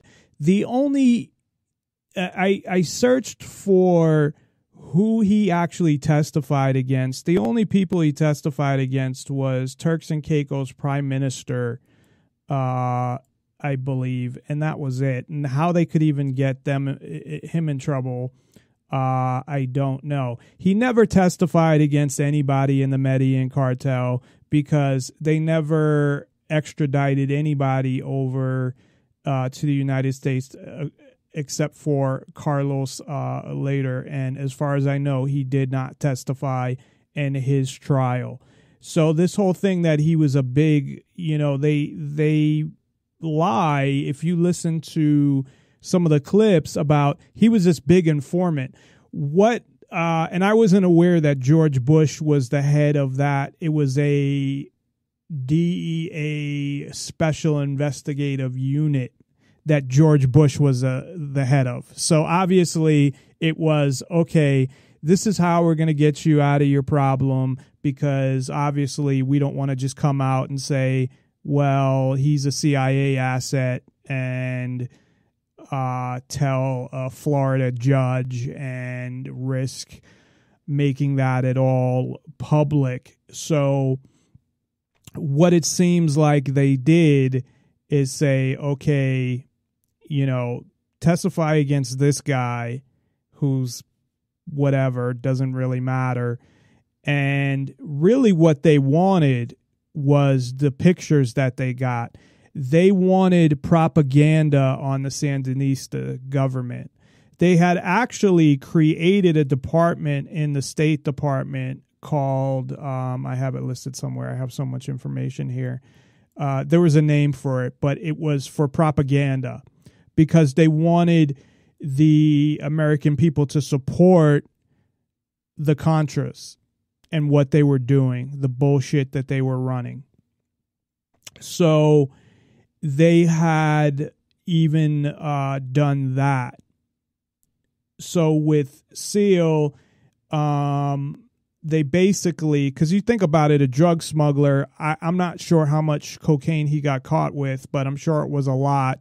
And he ends up with uh, either time served or, oh, he's to, you know, be an informant, which was really just kind of a, bu- a bunch of bullshit to get him out of trouble is is what it was. What happened though was a uh, a Louisiana judge, I guess he was in trouble for something in Louisiana, uh, had something against him or was just a dick, and he supposedly agreed to the Florida deal that he would not do any jail time and it would basically be dismissed. And what the Louisiana judge did was say, oh, you have to be in the Salvation Army uh, thing for six months uh, and live there, but you can leave during the day or between these hours to work or something like that. So he was supposed to he was supposed to agree to it and he didn't, but he still didn't go to jail. So what did happen though is the IRS came in because you had all of these investigations going on. And during all these investigations, people were, uh, one guy was, I think he was a Louise, uh, sorry, an Arkansas State Police, part of the Arkansas State Police he had he was sprayed with anthrax. There were a bunch of people that were killed. Um, we'll go into the train uh, killings as well, and they essentially anybody with any knowledge was either threatened or or killed of this. Now, they weren't going to, you know, for the Florida arrest, that was a little different. But as far as anything that went on in Arkansas, it was taken care of. And nothing ever happened. Nothing came out of any of these investigations. That's where Bill Clinton kind of comes into this. And we'll get back to uh, Barry Seal. But Bill Clinton was totally aware what was going on. Uh, a whistleblower of the CIA said that he attended meetings with Bush Clinton, Oliver North, whose code name was something Candy, and uh, I believe Barry Seal might have been there as well. And Clinton had sent his bodyguard on missions with Barry Seal. He also, I think, brokered this deal with uh, Dan Lasater. Now they mentioned in one of the clips Dan Lasater. I guess he was a doctor. I wasn't aware that he was a doctor, but I was aware that he was technically selling cocaine. Uh, he had said he gave it away. There was a hearing before Congress, and he was saying that his reputation was being destroyed and all of this stuff. And then uh, Congress had asked uh, somebody in Congress had asked, "Well, were you not convicted of distributing, you know, cocaine?" And he's like, "Well, I just gave it away, and there's a difference." And they tried to make him out like he was a bad guy for giving away cocaine to people. And to be honest, um, he was friends with Bill Clinton. He got pardoned by Clinton. He actually went to jail for a little while, but Clinton pardoned him before he left office. So he was a part of the Arkansas elite, at least, and got away with a lot of shit that other people wouldn't get away with. But as far as him doing cocaine and if he was selling cocaine or giving it away, which I think it seemed like he was more giving it away, um, he also hired Roger Clinton, uh, Bill Clinton's brother, who got arrested as well because the state police uh, actually have a video of Roger Clinton, uh, I think at Dan Lasater's house. And every time, you know, they would go to his house, he had cocaine. Um, I believe Bill Clinton was involved in in doing cocaine as well, but he brokered that whole deal. Uh, I believe with uh, Lasater um, getting some of that cocaine, which not, I mean, you know, a couple kilos, which actually is a lot for uh, one person. That's not a huge drug dealer. I mean, it's not a lot in terms of what Barry Seal was bringing over, but eh, getting part of that. Also, Bill Clinton was, uh, they were laundering money through a firm Lasater set up. He also set up uh, something with state bonds to give money to businesses or to bring business to Arkansas but he set that up to launder the money. And from what I had uh, understood, I mean, a hundred million per month was being laundered through Lasater's firm and also through these bonds and the banks. I don't know exactly how all that worked, but Bill Clinton was involved in all of that. And of course, he, from doing that, what happens? He becomes president. What a fucking uh, you know country this is.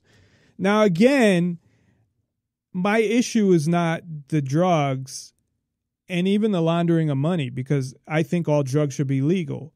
It's the hypocrisy and you have and, and the lies and the you know you're supposed to be part of government. If you want to be part of government, be part of government and obey their fucking rules. Which, of course, we know that if you're part of government, you don't have to obey the rules. You get away with whatever you want. But when it came to um, Clinton, uh, of course,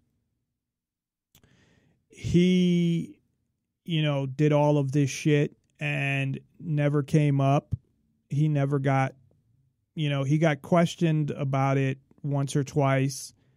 Um, but for the most part, it didn't come up when he ran for president.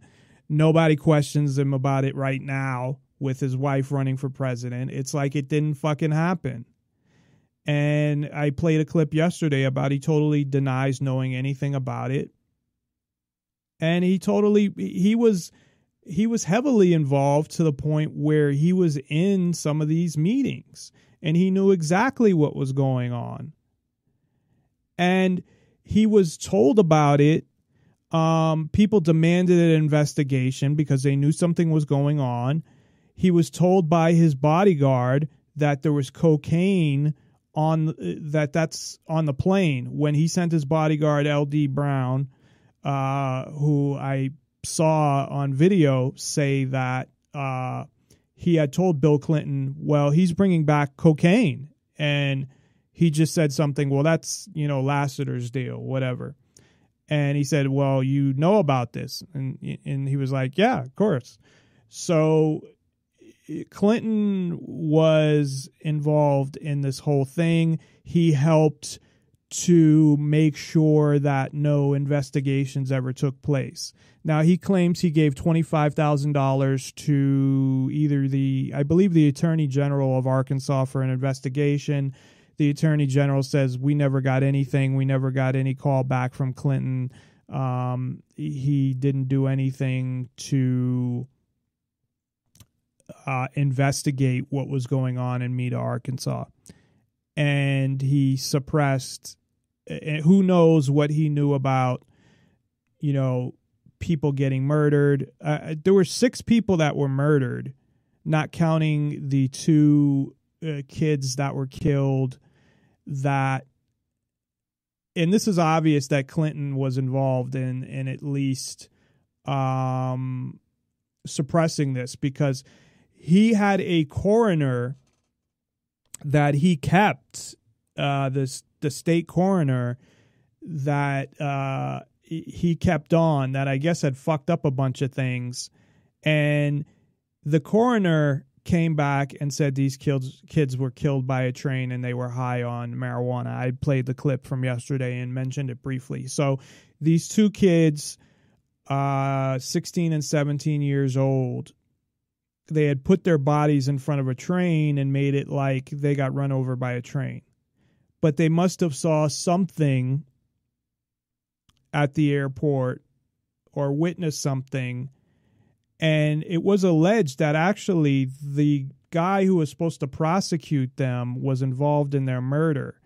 Now, I don't know if it was also state police um, or uh, Clinton bodyguards or whoever, but it was people involved in the Arkansas government. There was a claim that they could tie something back to the the prosecutor um, Dan Harmon that he was involved in the actual murder of those two kids.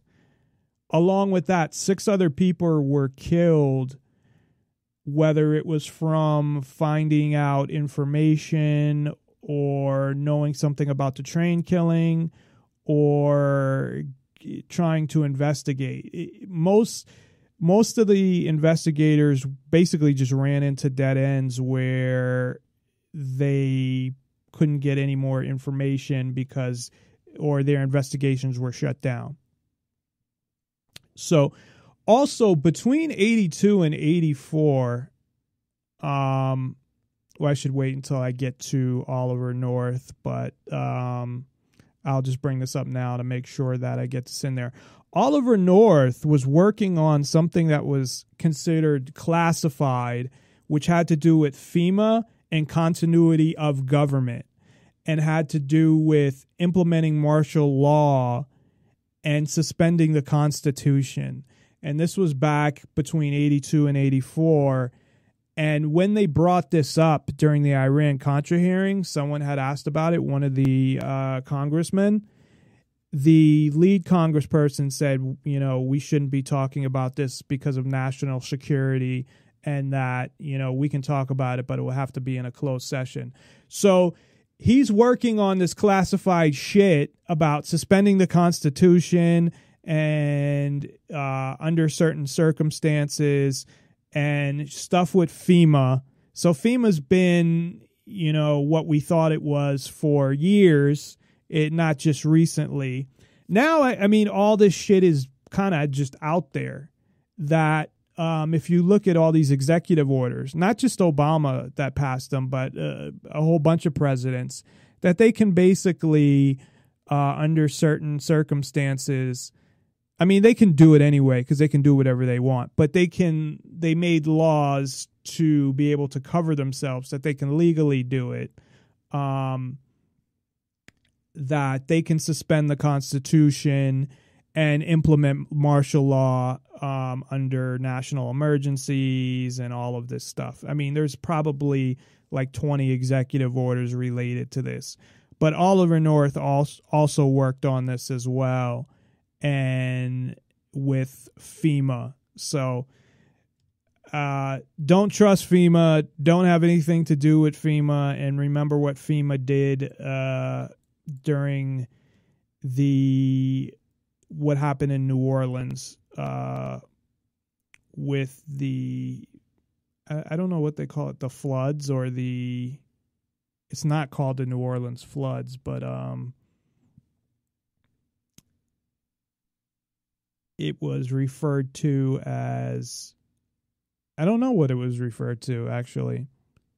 Let's call it you know what happened in New Orleans, but and they did. I mean, they went around taking away people's guns um, there's footage of that. So, um, not FEMA, but the military or National Guard.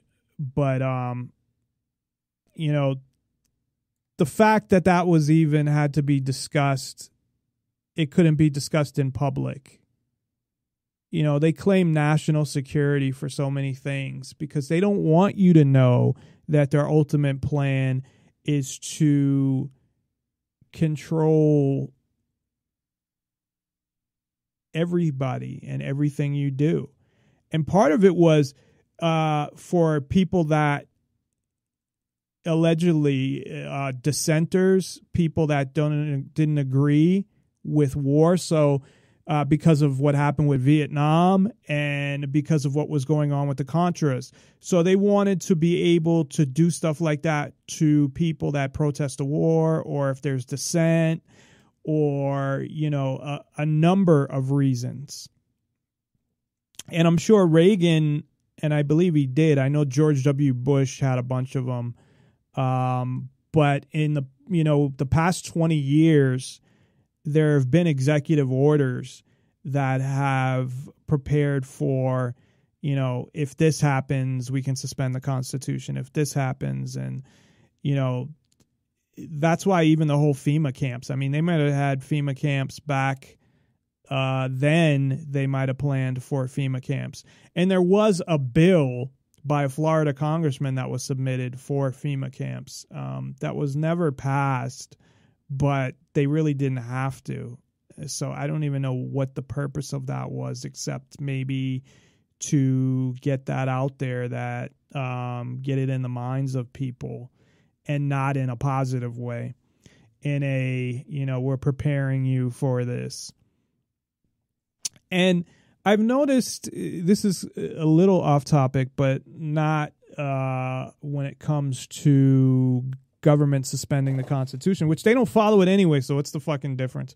But I've noticed a lot of movies now where people's emotions are being suppressed, whether it's through medication or in this movie I saw recently, it was uh, they had babies that were born, you know, basically they created them in a lab, whatever and people weren't allowed to touch each other and they were born essentially without emotions but a certain amount of people would start to get them.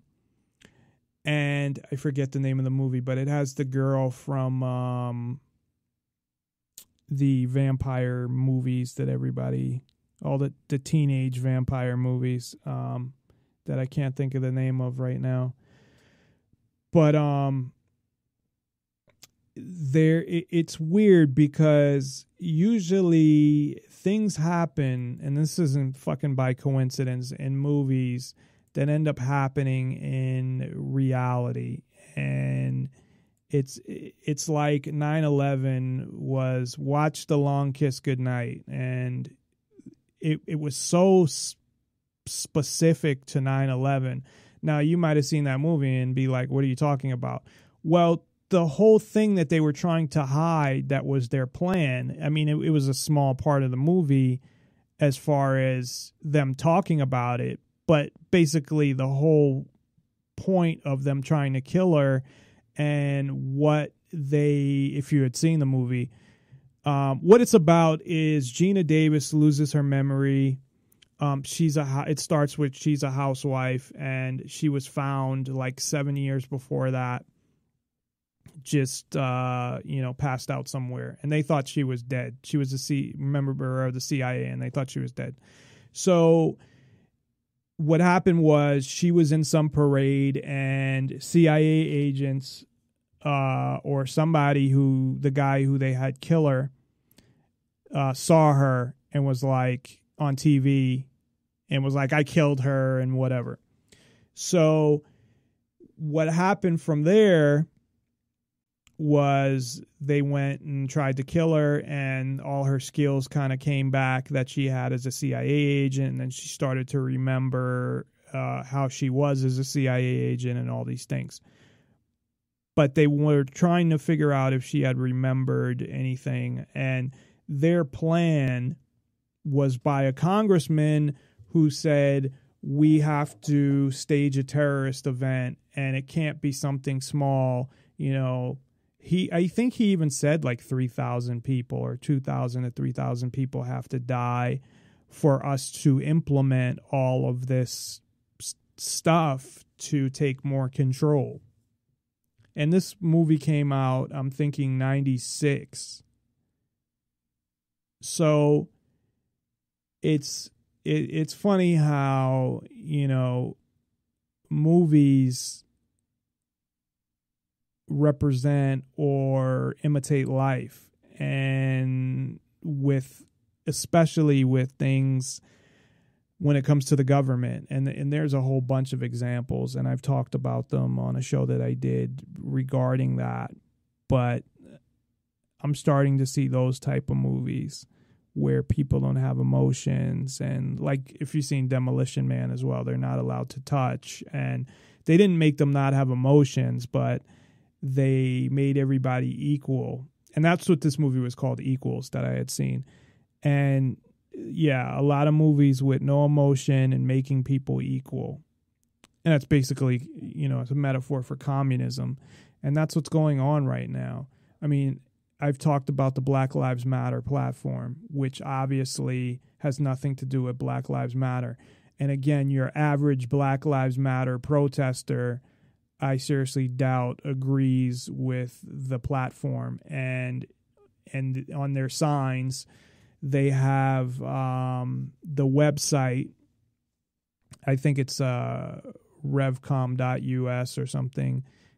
That's the Communist Revolutionary website. And that's a whole nother issue. But there, if you, you know, going from what Oliver North was doing, and I look at the Republicans as fascists and the Democrats as, you know, socialists and communists. I mean, there's not a huge difference. I mean, there's many similarities. And I think what um, the way things are going is a combination of of both.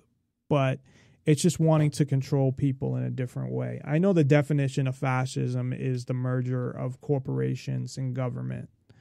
Um, but it's also you know run by dictators and obviously they're controlling all the corporations and so i don't see uh, a big difference in some ways. And of course the nazis you know it stood for national socialism and a lot of people aren't aware of that. So we look at corrupt governments like this or an example of something that they did. And I had mentioned yesterday, this is about the institution of government. Oliver North, Bill Clinton, George Bush, the names don't matter. They could have been anybody. But people keep focusing on the individuals. Now, Trump's the savior to some people. I can't believe uh, somebody like Alex Jones and all the shit he says about the government. Well, Trump's, you know, the savior and all this bullshit. And government is to a point where it's its own corporation and it's too far gone to be able to change anything through the system. And again, it doesn't matter who's in office. So, these names and these people I know a, lot of people tend to focus on that. And oh, we had, you know, corruption during the Reagan years or whatever. And they just look at it that way. But those people aren't in office anymore, so whatever. Or the CIA with MK Ultra. Well, those agents are I mean, they're probably dead by now because that was you know, like 60 years ago. Just they're dead of old age. Um, but it's the institution, and the reason why I talk about things like this is this. This is just an, another example of what government does. They're a gang. They're a mafia that does whatever they want to do. They're above the law, but they expect you to obey them and their laws. So, getting back to uh, Bill Clinton and the fact that all this shit happened before he became president is even more disturbing. Um, and I, I don't even know what to say about it, to be honest. I mean, it's not a surprise knowing how things are, but it's really fucked up because none of this was uncovered, or it was, but it just never came out. There, there's no way that you know that uh, this wasn't all this shit wasn't known, and they pretty much didn't mention it in the uh, government media because he was picked as the guy to become president. You think about it. You you look at the the convention in 1988 when Dukakis was nominated, and Bill Clinton he almost got booed off stage during his speech. He was a unknown governor of an unknown, uh, you know, not unknown state, but a little state down south, just like Jimmy Carter was. And both were members of the Trilateral Commission and were picked as the people to be president. So, and this whole the Democrats hate the Republicans, you know, Bush and Clinton were working together on this whole thing. So, um, anyway, the other thing that Clinton covered up, and that would be at minimum that I was talking about the train um, incident. He would he at least covered it up, and the guy that was the state um, coroner that did the autopsy said that they were killed by the train. Then, when a second autopsy was done, that's when they discovered, you know, the gunshot. I, I think it was a gunshot on one of them and stab wounds and all of this stuff um, when that was performed. And this guy was working for Clinton. Clinton gave him a job, kept him in in his job for the sole purpose of you think about that if this is a coroner that's going to examine people and you have him in your back pocket and you control him, uh, you can order people's murders or murder them yourself, I guess, if you want to, and have him say whatever you want him to say. And obviously, Clinton went to this guy and said, you know, these guys were obviously hit by a train because there's no way that he's that stupid that he he really believed that and didn't discover any of the other evidence. So at minimum the minimum amount of involvement by Clinton when it came to that incident was telling the coroner what to say you know the maximum is that he was even he was more involved that he knew who killed them that some of his own people actually killed them um and maybe some of the other people that had too much information. You know most of the investigations just got shut down. And of course he wouldn't you know investigate it. He said that he would but um, you know, he was probably behind the stopping once investigations went too far. You know, he was behind stopping those investigations. And Dan Lasater, I guess they hint that he had sex with a 14 year old. He at least gave her cocaine. Um, you know, that again, um, he wasn't part of government and I don't know that selling cocaine to somebody because they're 14. I know it's um, giving kids drugs. Well, if you're a teenager, you're gonna you're gonna get cocaine um, if you want it. it. It's not uh, hard, but he they had hinted that he had sex with her and she was a virgin, and he he got her high on cocaine to take advantage of her, which is fucked up. So um, this Lasater guy, and then Bill Clinton, of course, pardons him before he becomes president, as he pardoned his brother as well. So that was pretty much Clinton's involvement, and I'm sure he made a lot of money off of this as well. Now, there was somehow, and I'm not clear on how they were connected, but Rose Law Firm was where Hillary Clinton worked, and there was something with the the I think he was the owner or partner Webb Hubbell, and that name had come up, and I'm not sure on the details of that, but he was involved in some shady stuff and I don't know if it was with Dan Lasater, which I, I think it may have been, or any of the cocaine stuff, but I don't really have enough information to speak in detail on that. But, you know, it, it seems like Hillary was always involved in fucked up things as well. Also, it's it was estimated that 75% of the cocaine, I guess, coming into the U.S. passed through Mena Airport. Um, so there may have been other planes that once it, you know, hit Mena Airport again. I don't know how the distribution worked, but 75% had passed through um, Mena Airport.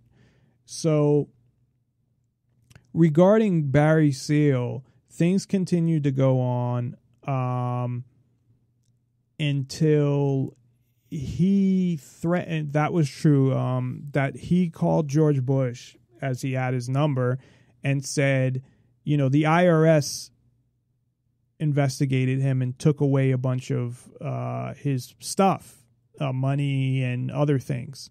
And he called Bush and said, "You better call off the fucking IRS." You know, he told the IRS, hey, we work together. You know, I work for the CIA. And they said, well, we're the IRS, so whatever. And took a bunch of his shit. So he had called uh, George Bush and said, if you don't do something about the IRS, I'm going to go public with this shit. I guess he was also even talking about making a movie. And if it's true that he was a CIA agent going back to his 20s, he had plenty of information. I mean, possibly information about the Kennedy assassination, um, Vietnam. I mean, the list goes on. And he had kept supposedly tapes. He had tape recorded everything, as I mentioned, and kept all this information in his Cadillac and the Louisiana State Police, at least one of the officers had come out and said the the whole trunk was ransacked. They took a bunch of stuff out of it, which was probably whatever evidence he was uh, carrying around. Although they did still find some stuff. I'm not sure exactly what they found. I know they did find uh, Bush's direct number was one of them, uh, but the government media was wrong about they said you know the amount of people that involved. There were eight people that were involved. Um three of them were actually convicted. And the way that they found them it just seemed like a total setup. One of the guys had told his lawyer that he worked for Oliver North as well. So it was it got to the point where they said okay this guy knows too much um, we got to get rid of them. And we'll just blame it. We'll bring in Colombians to do it. And we'll blame it on the cartel and say that he's this big informant and he's going to testify against cartel. Although it's kind of meaningless, again, because they're in Colombia. And unless they get them extradited to the United States, which I think at that point they had reversed the decision. Um, and if they hadn't, they did a little later. But that wasn't something that uh, I think they were worried about. And he had told them that he was going to testify against uh, any testifying he would be doing would be against the U.S. government and all the things that they were doing. So it Bush really uh, had him killed via Oliver North and it was rumored that Oliver North ran basically a, a hit squad out of his office as well uh, to take care of, you know, anybody that they needed to get rid of. And he might have been behind a few of those um, murders of people getting too close to the investigations. So, as I mentioned, all the investigations were shut down. Um, some people were killed. One uh, state police officer was sprayed with anthrax and almost died. And, you know, whether that was a combination of Clinton and North or mostly Clinton because he would be the one who would find uh, all that information out, being that it was going on in his state. But um, I think one of the reasons why they picked Arkansas was the fact that you know they knew they had a, a governor that was corrupt and that you know would be totally on board with what they were doing. So they still never charged anybody with the kid, the, the murders of the kids that were killed on the train. Um, running it really, uh, the guy who really never, I don't even know that he testified before Congress, to be honest. I don't recall him testifying at all. But George uh, H.W. Bush, I mean, he was the guy the main guy running this whole thing. You know, he delegated, I think, the a lot of the operations to Oliver North, also the Secretary of Defense and uh, Admiral Poindexter, and the Secretary of Defense was um, who was the other guy? I have that somewhere there's just so much information that I I got on this that I um oh when I get to it I'll I'll mention his name as well but Poindexter was the other one and I had mentioned yesterday that um oh Caspar Weinberger sorry that uh it makes me think of Revenge of the Nerds because in the movie Revenge of the Nerds you have the character Poindexter. Uh, so luckily for him, Revenge of the Nerds came out uh, when he was older, so he didn't get teased in uh, school. Although, with what he did and being corrupt, he probably deserved it. So those were the main guys I think that testified as well, and that kind of ran this thing. As I mentioned yesterday, you know, they ran every aspect of it: training, arming you know, all of that stuff. Um, they put mines in the harbors. Uh, they funded them, of course, and they got all the groups to merge. And it did all of that stuff. So, I guess to close out on Barry Seal, um, after he died, the organization went on. They still flew cocaine to Mena. um, what really brought things down was the fact that in um, 19 October 5th, 1986, and Barry Seal was killed in February 86. Um, and really what they wanted Seal for again, they had those pictures. They they released those pictures and and they were worried about him getting killed because of that there were pictures with him um, in Nicaragua and the Ochoa brothers, and even Pablo Escobar, pictures of him loading the plane uh, with uh, kilos of cocaine. So they wanted along with one of the Nicaraguan, uh, somebody high up in their government. So they wanted to show, look, the Sandinistas are look how bad they are. They even you know sell cocaine or help. Uh, they're involved with the cartels or whatever. Uh, so in uh, October fifth, nineteen eighty six, uh, a soldier, Nicaraguan soldier, shot down a plane that was carrying um, supplies to the Contras And that's when everybody found out about it because one of the guys, eh, three died, one lived. And they knew he was working for the CIA and that they that's what they were doing. So they had found out, and from there, that's when the hearings were held, and it was all downhill from there. I know that they ended up. Um, it went on till 1990, and then they ended up not taking over, but electing. They threw out the ousted the president, but through an election, the United States had said that they'd lift uh, their embargo or whatever if uh, some the person who ended up getting elected, I don't know the name off the top of my head, got elected.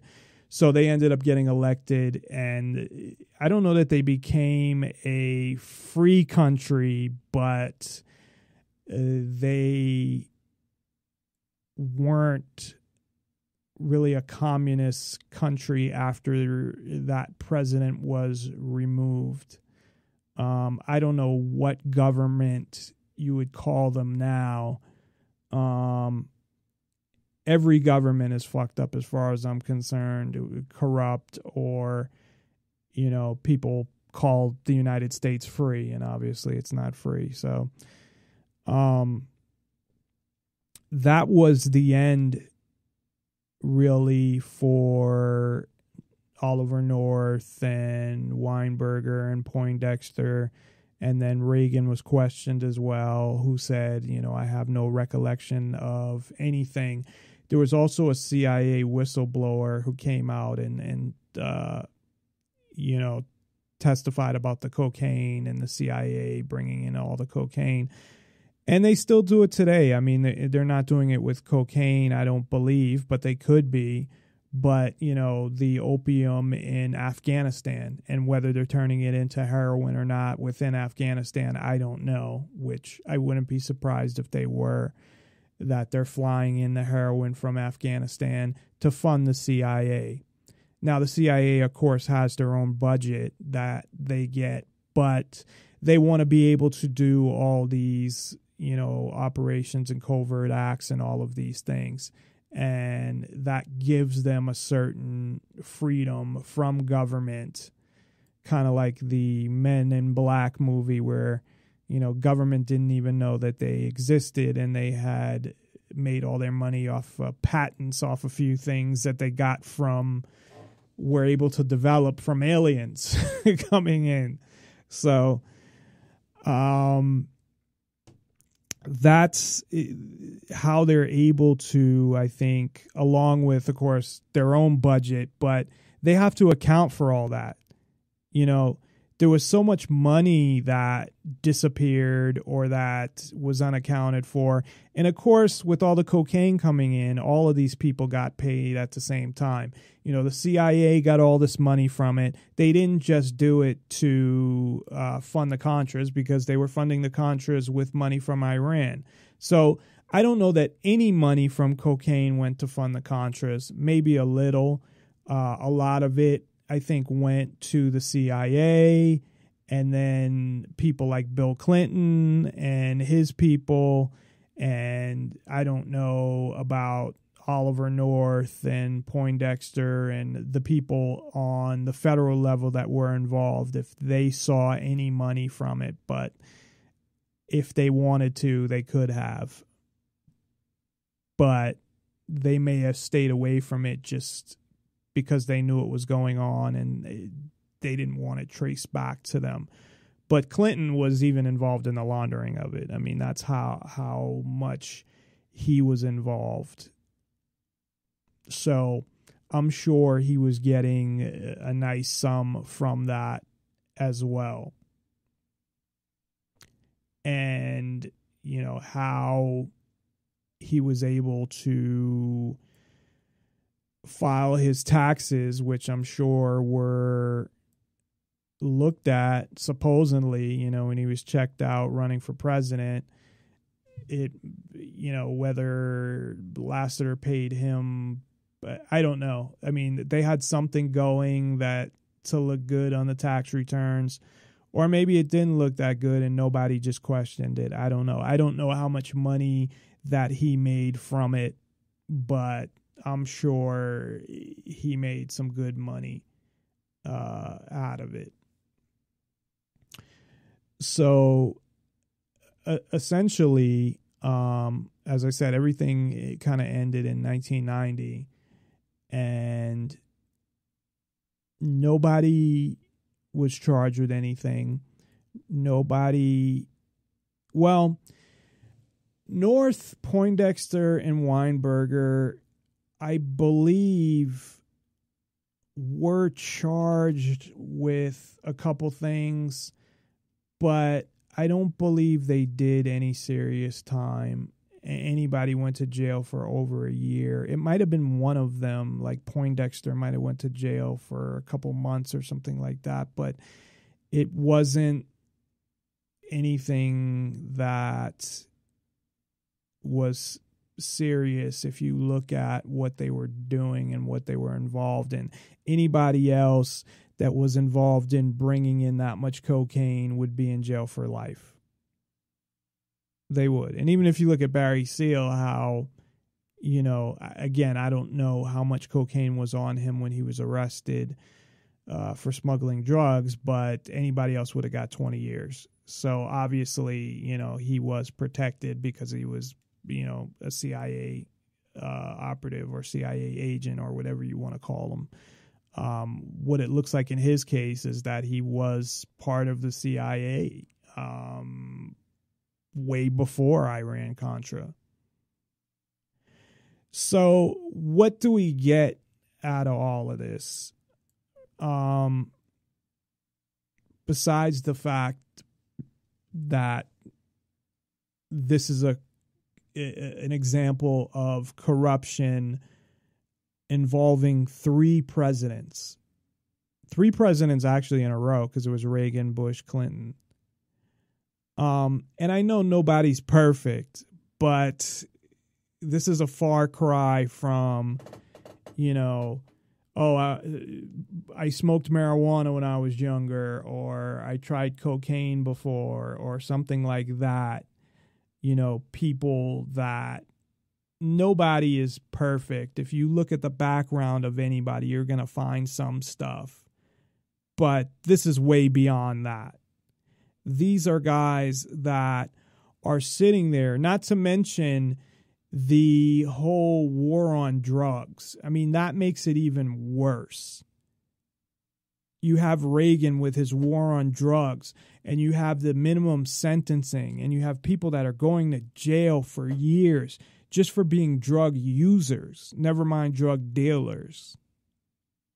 You have them going after Pablo Escobar and killing him. Now, that's a little different because he did do things where, you know, supposedly he blew up a plane uh, terrorist type attacks uh, were made against the Colombian government.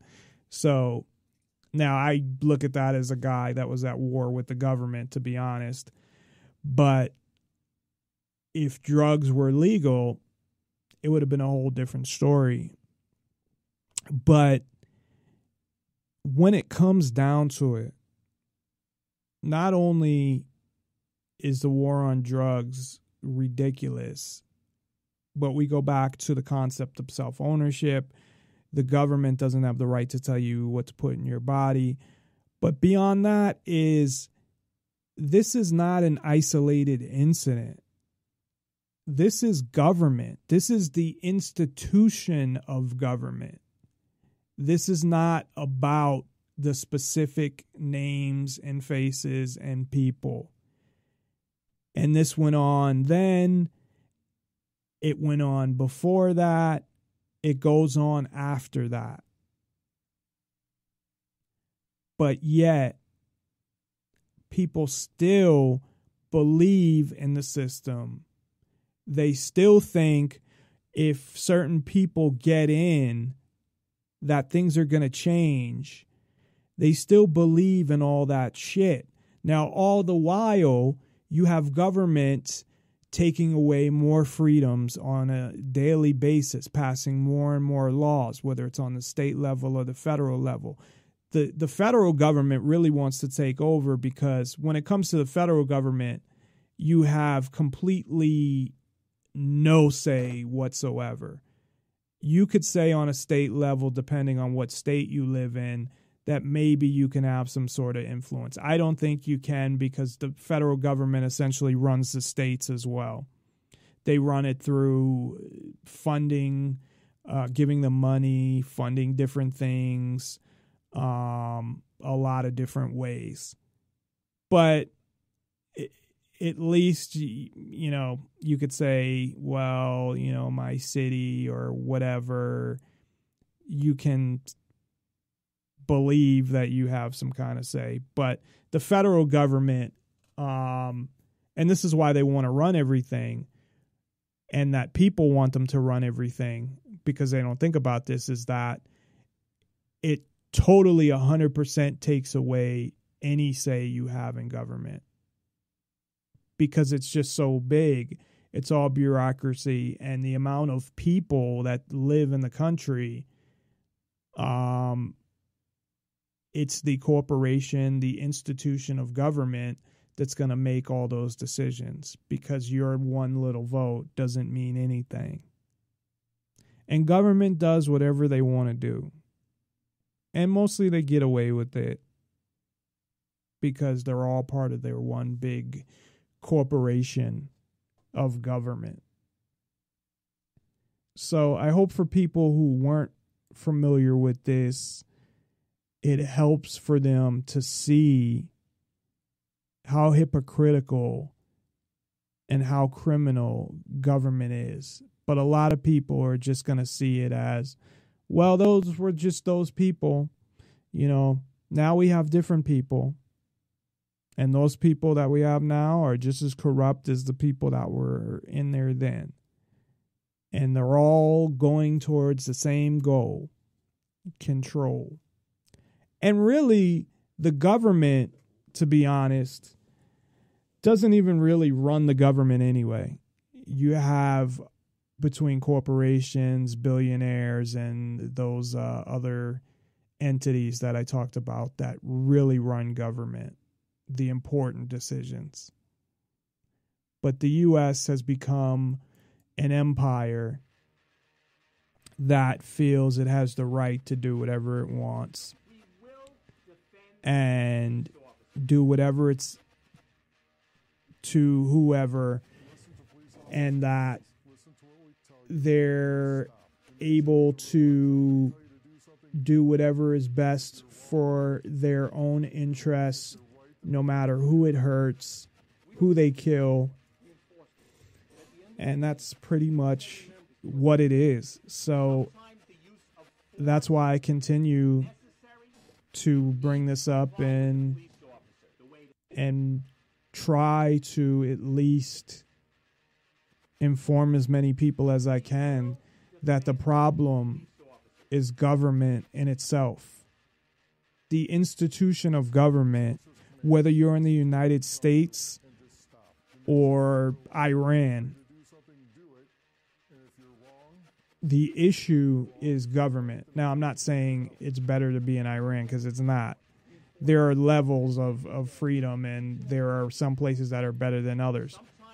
But when it comes down to it, government's ultimate goal is control of every aspect of your life. And that is the goal of the U.S. government, and it's coming to fruition if people don't start drawing a line in the sand and standing up.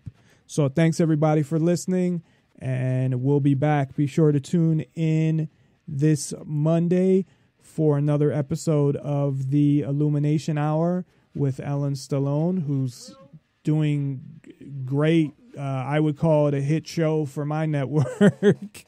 um, and uh, she does a great job very creative and interesting show and very thought provoking. And she's uh, very talented and a great host. So be sure to tune into that and have a great weekend. Go see Snowden. Uh, opens uh, tomorrow and tonight. uh, there's some special presentations where Snowden will actually be live or on tape in the theater. So if you're interested in that, uh, that's going on too. So thanks everybody. And dangerous crime.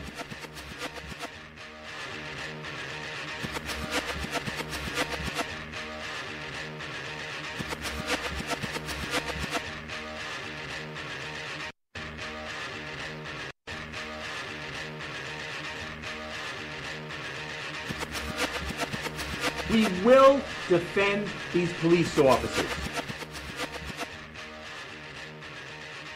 Listen to police officers' commands, listen to what we tell you, and just stop. The nation needs to realize that when we tell you to do something, do it. And if you're wrong, you're wrong. If you're right, then the courts will figure it out. We don't get to pick the laws. We enforce them. But at the end of the day, each and every member is to go home safe. Sometimes the use of force is necessary. You need to comply with the police officer the way the system was meant to be. Comply with the orders of police officers. Resisting arrest is a real and dangerous crime.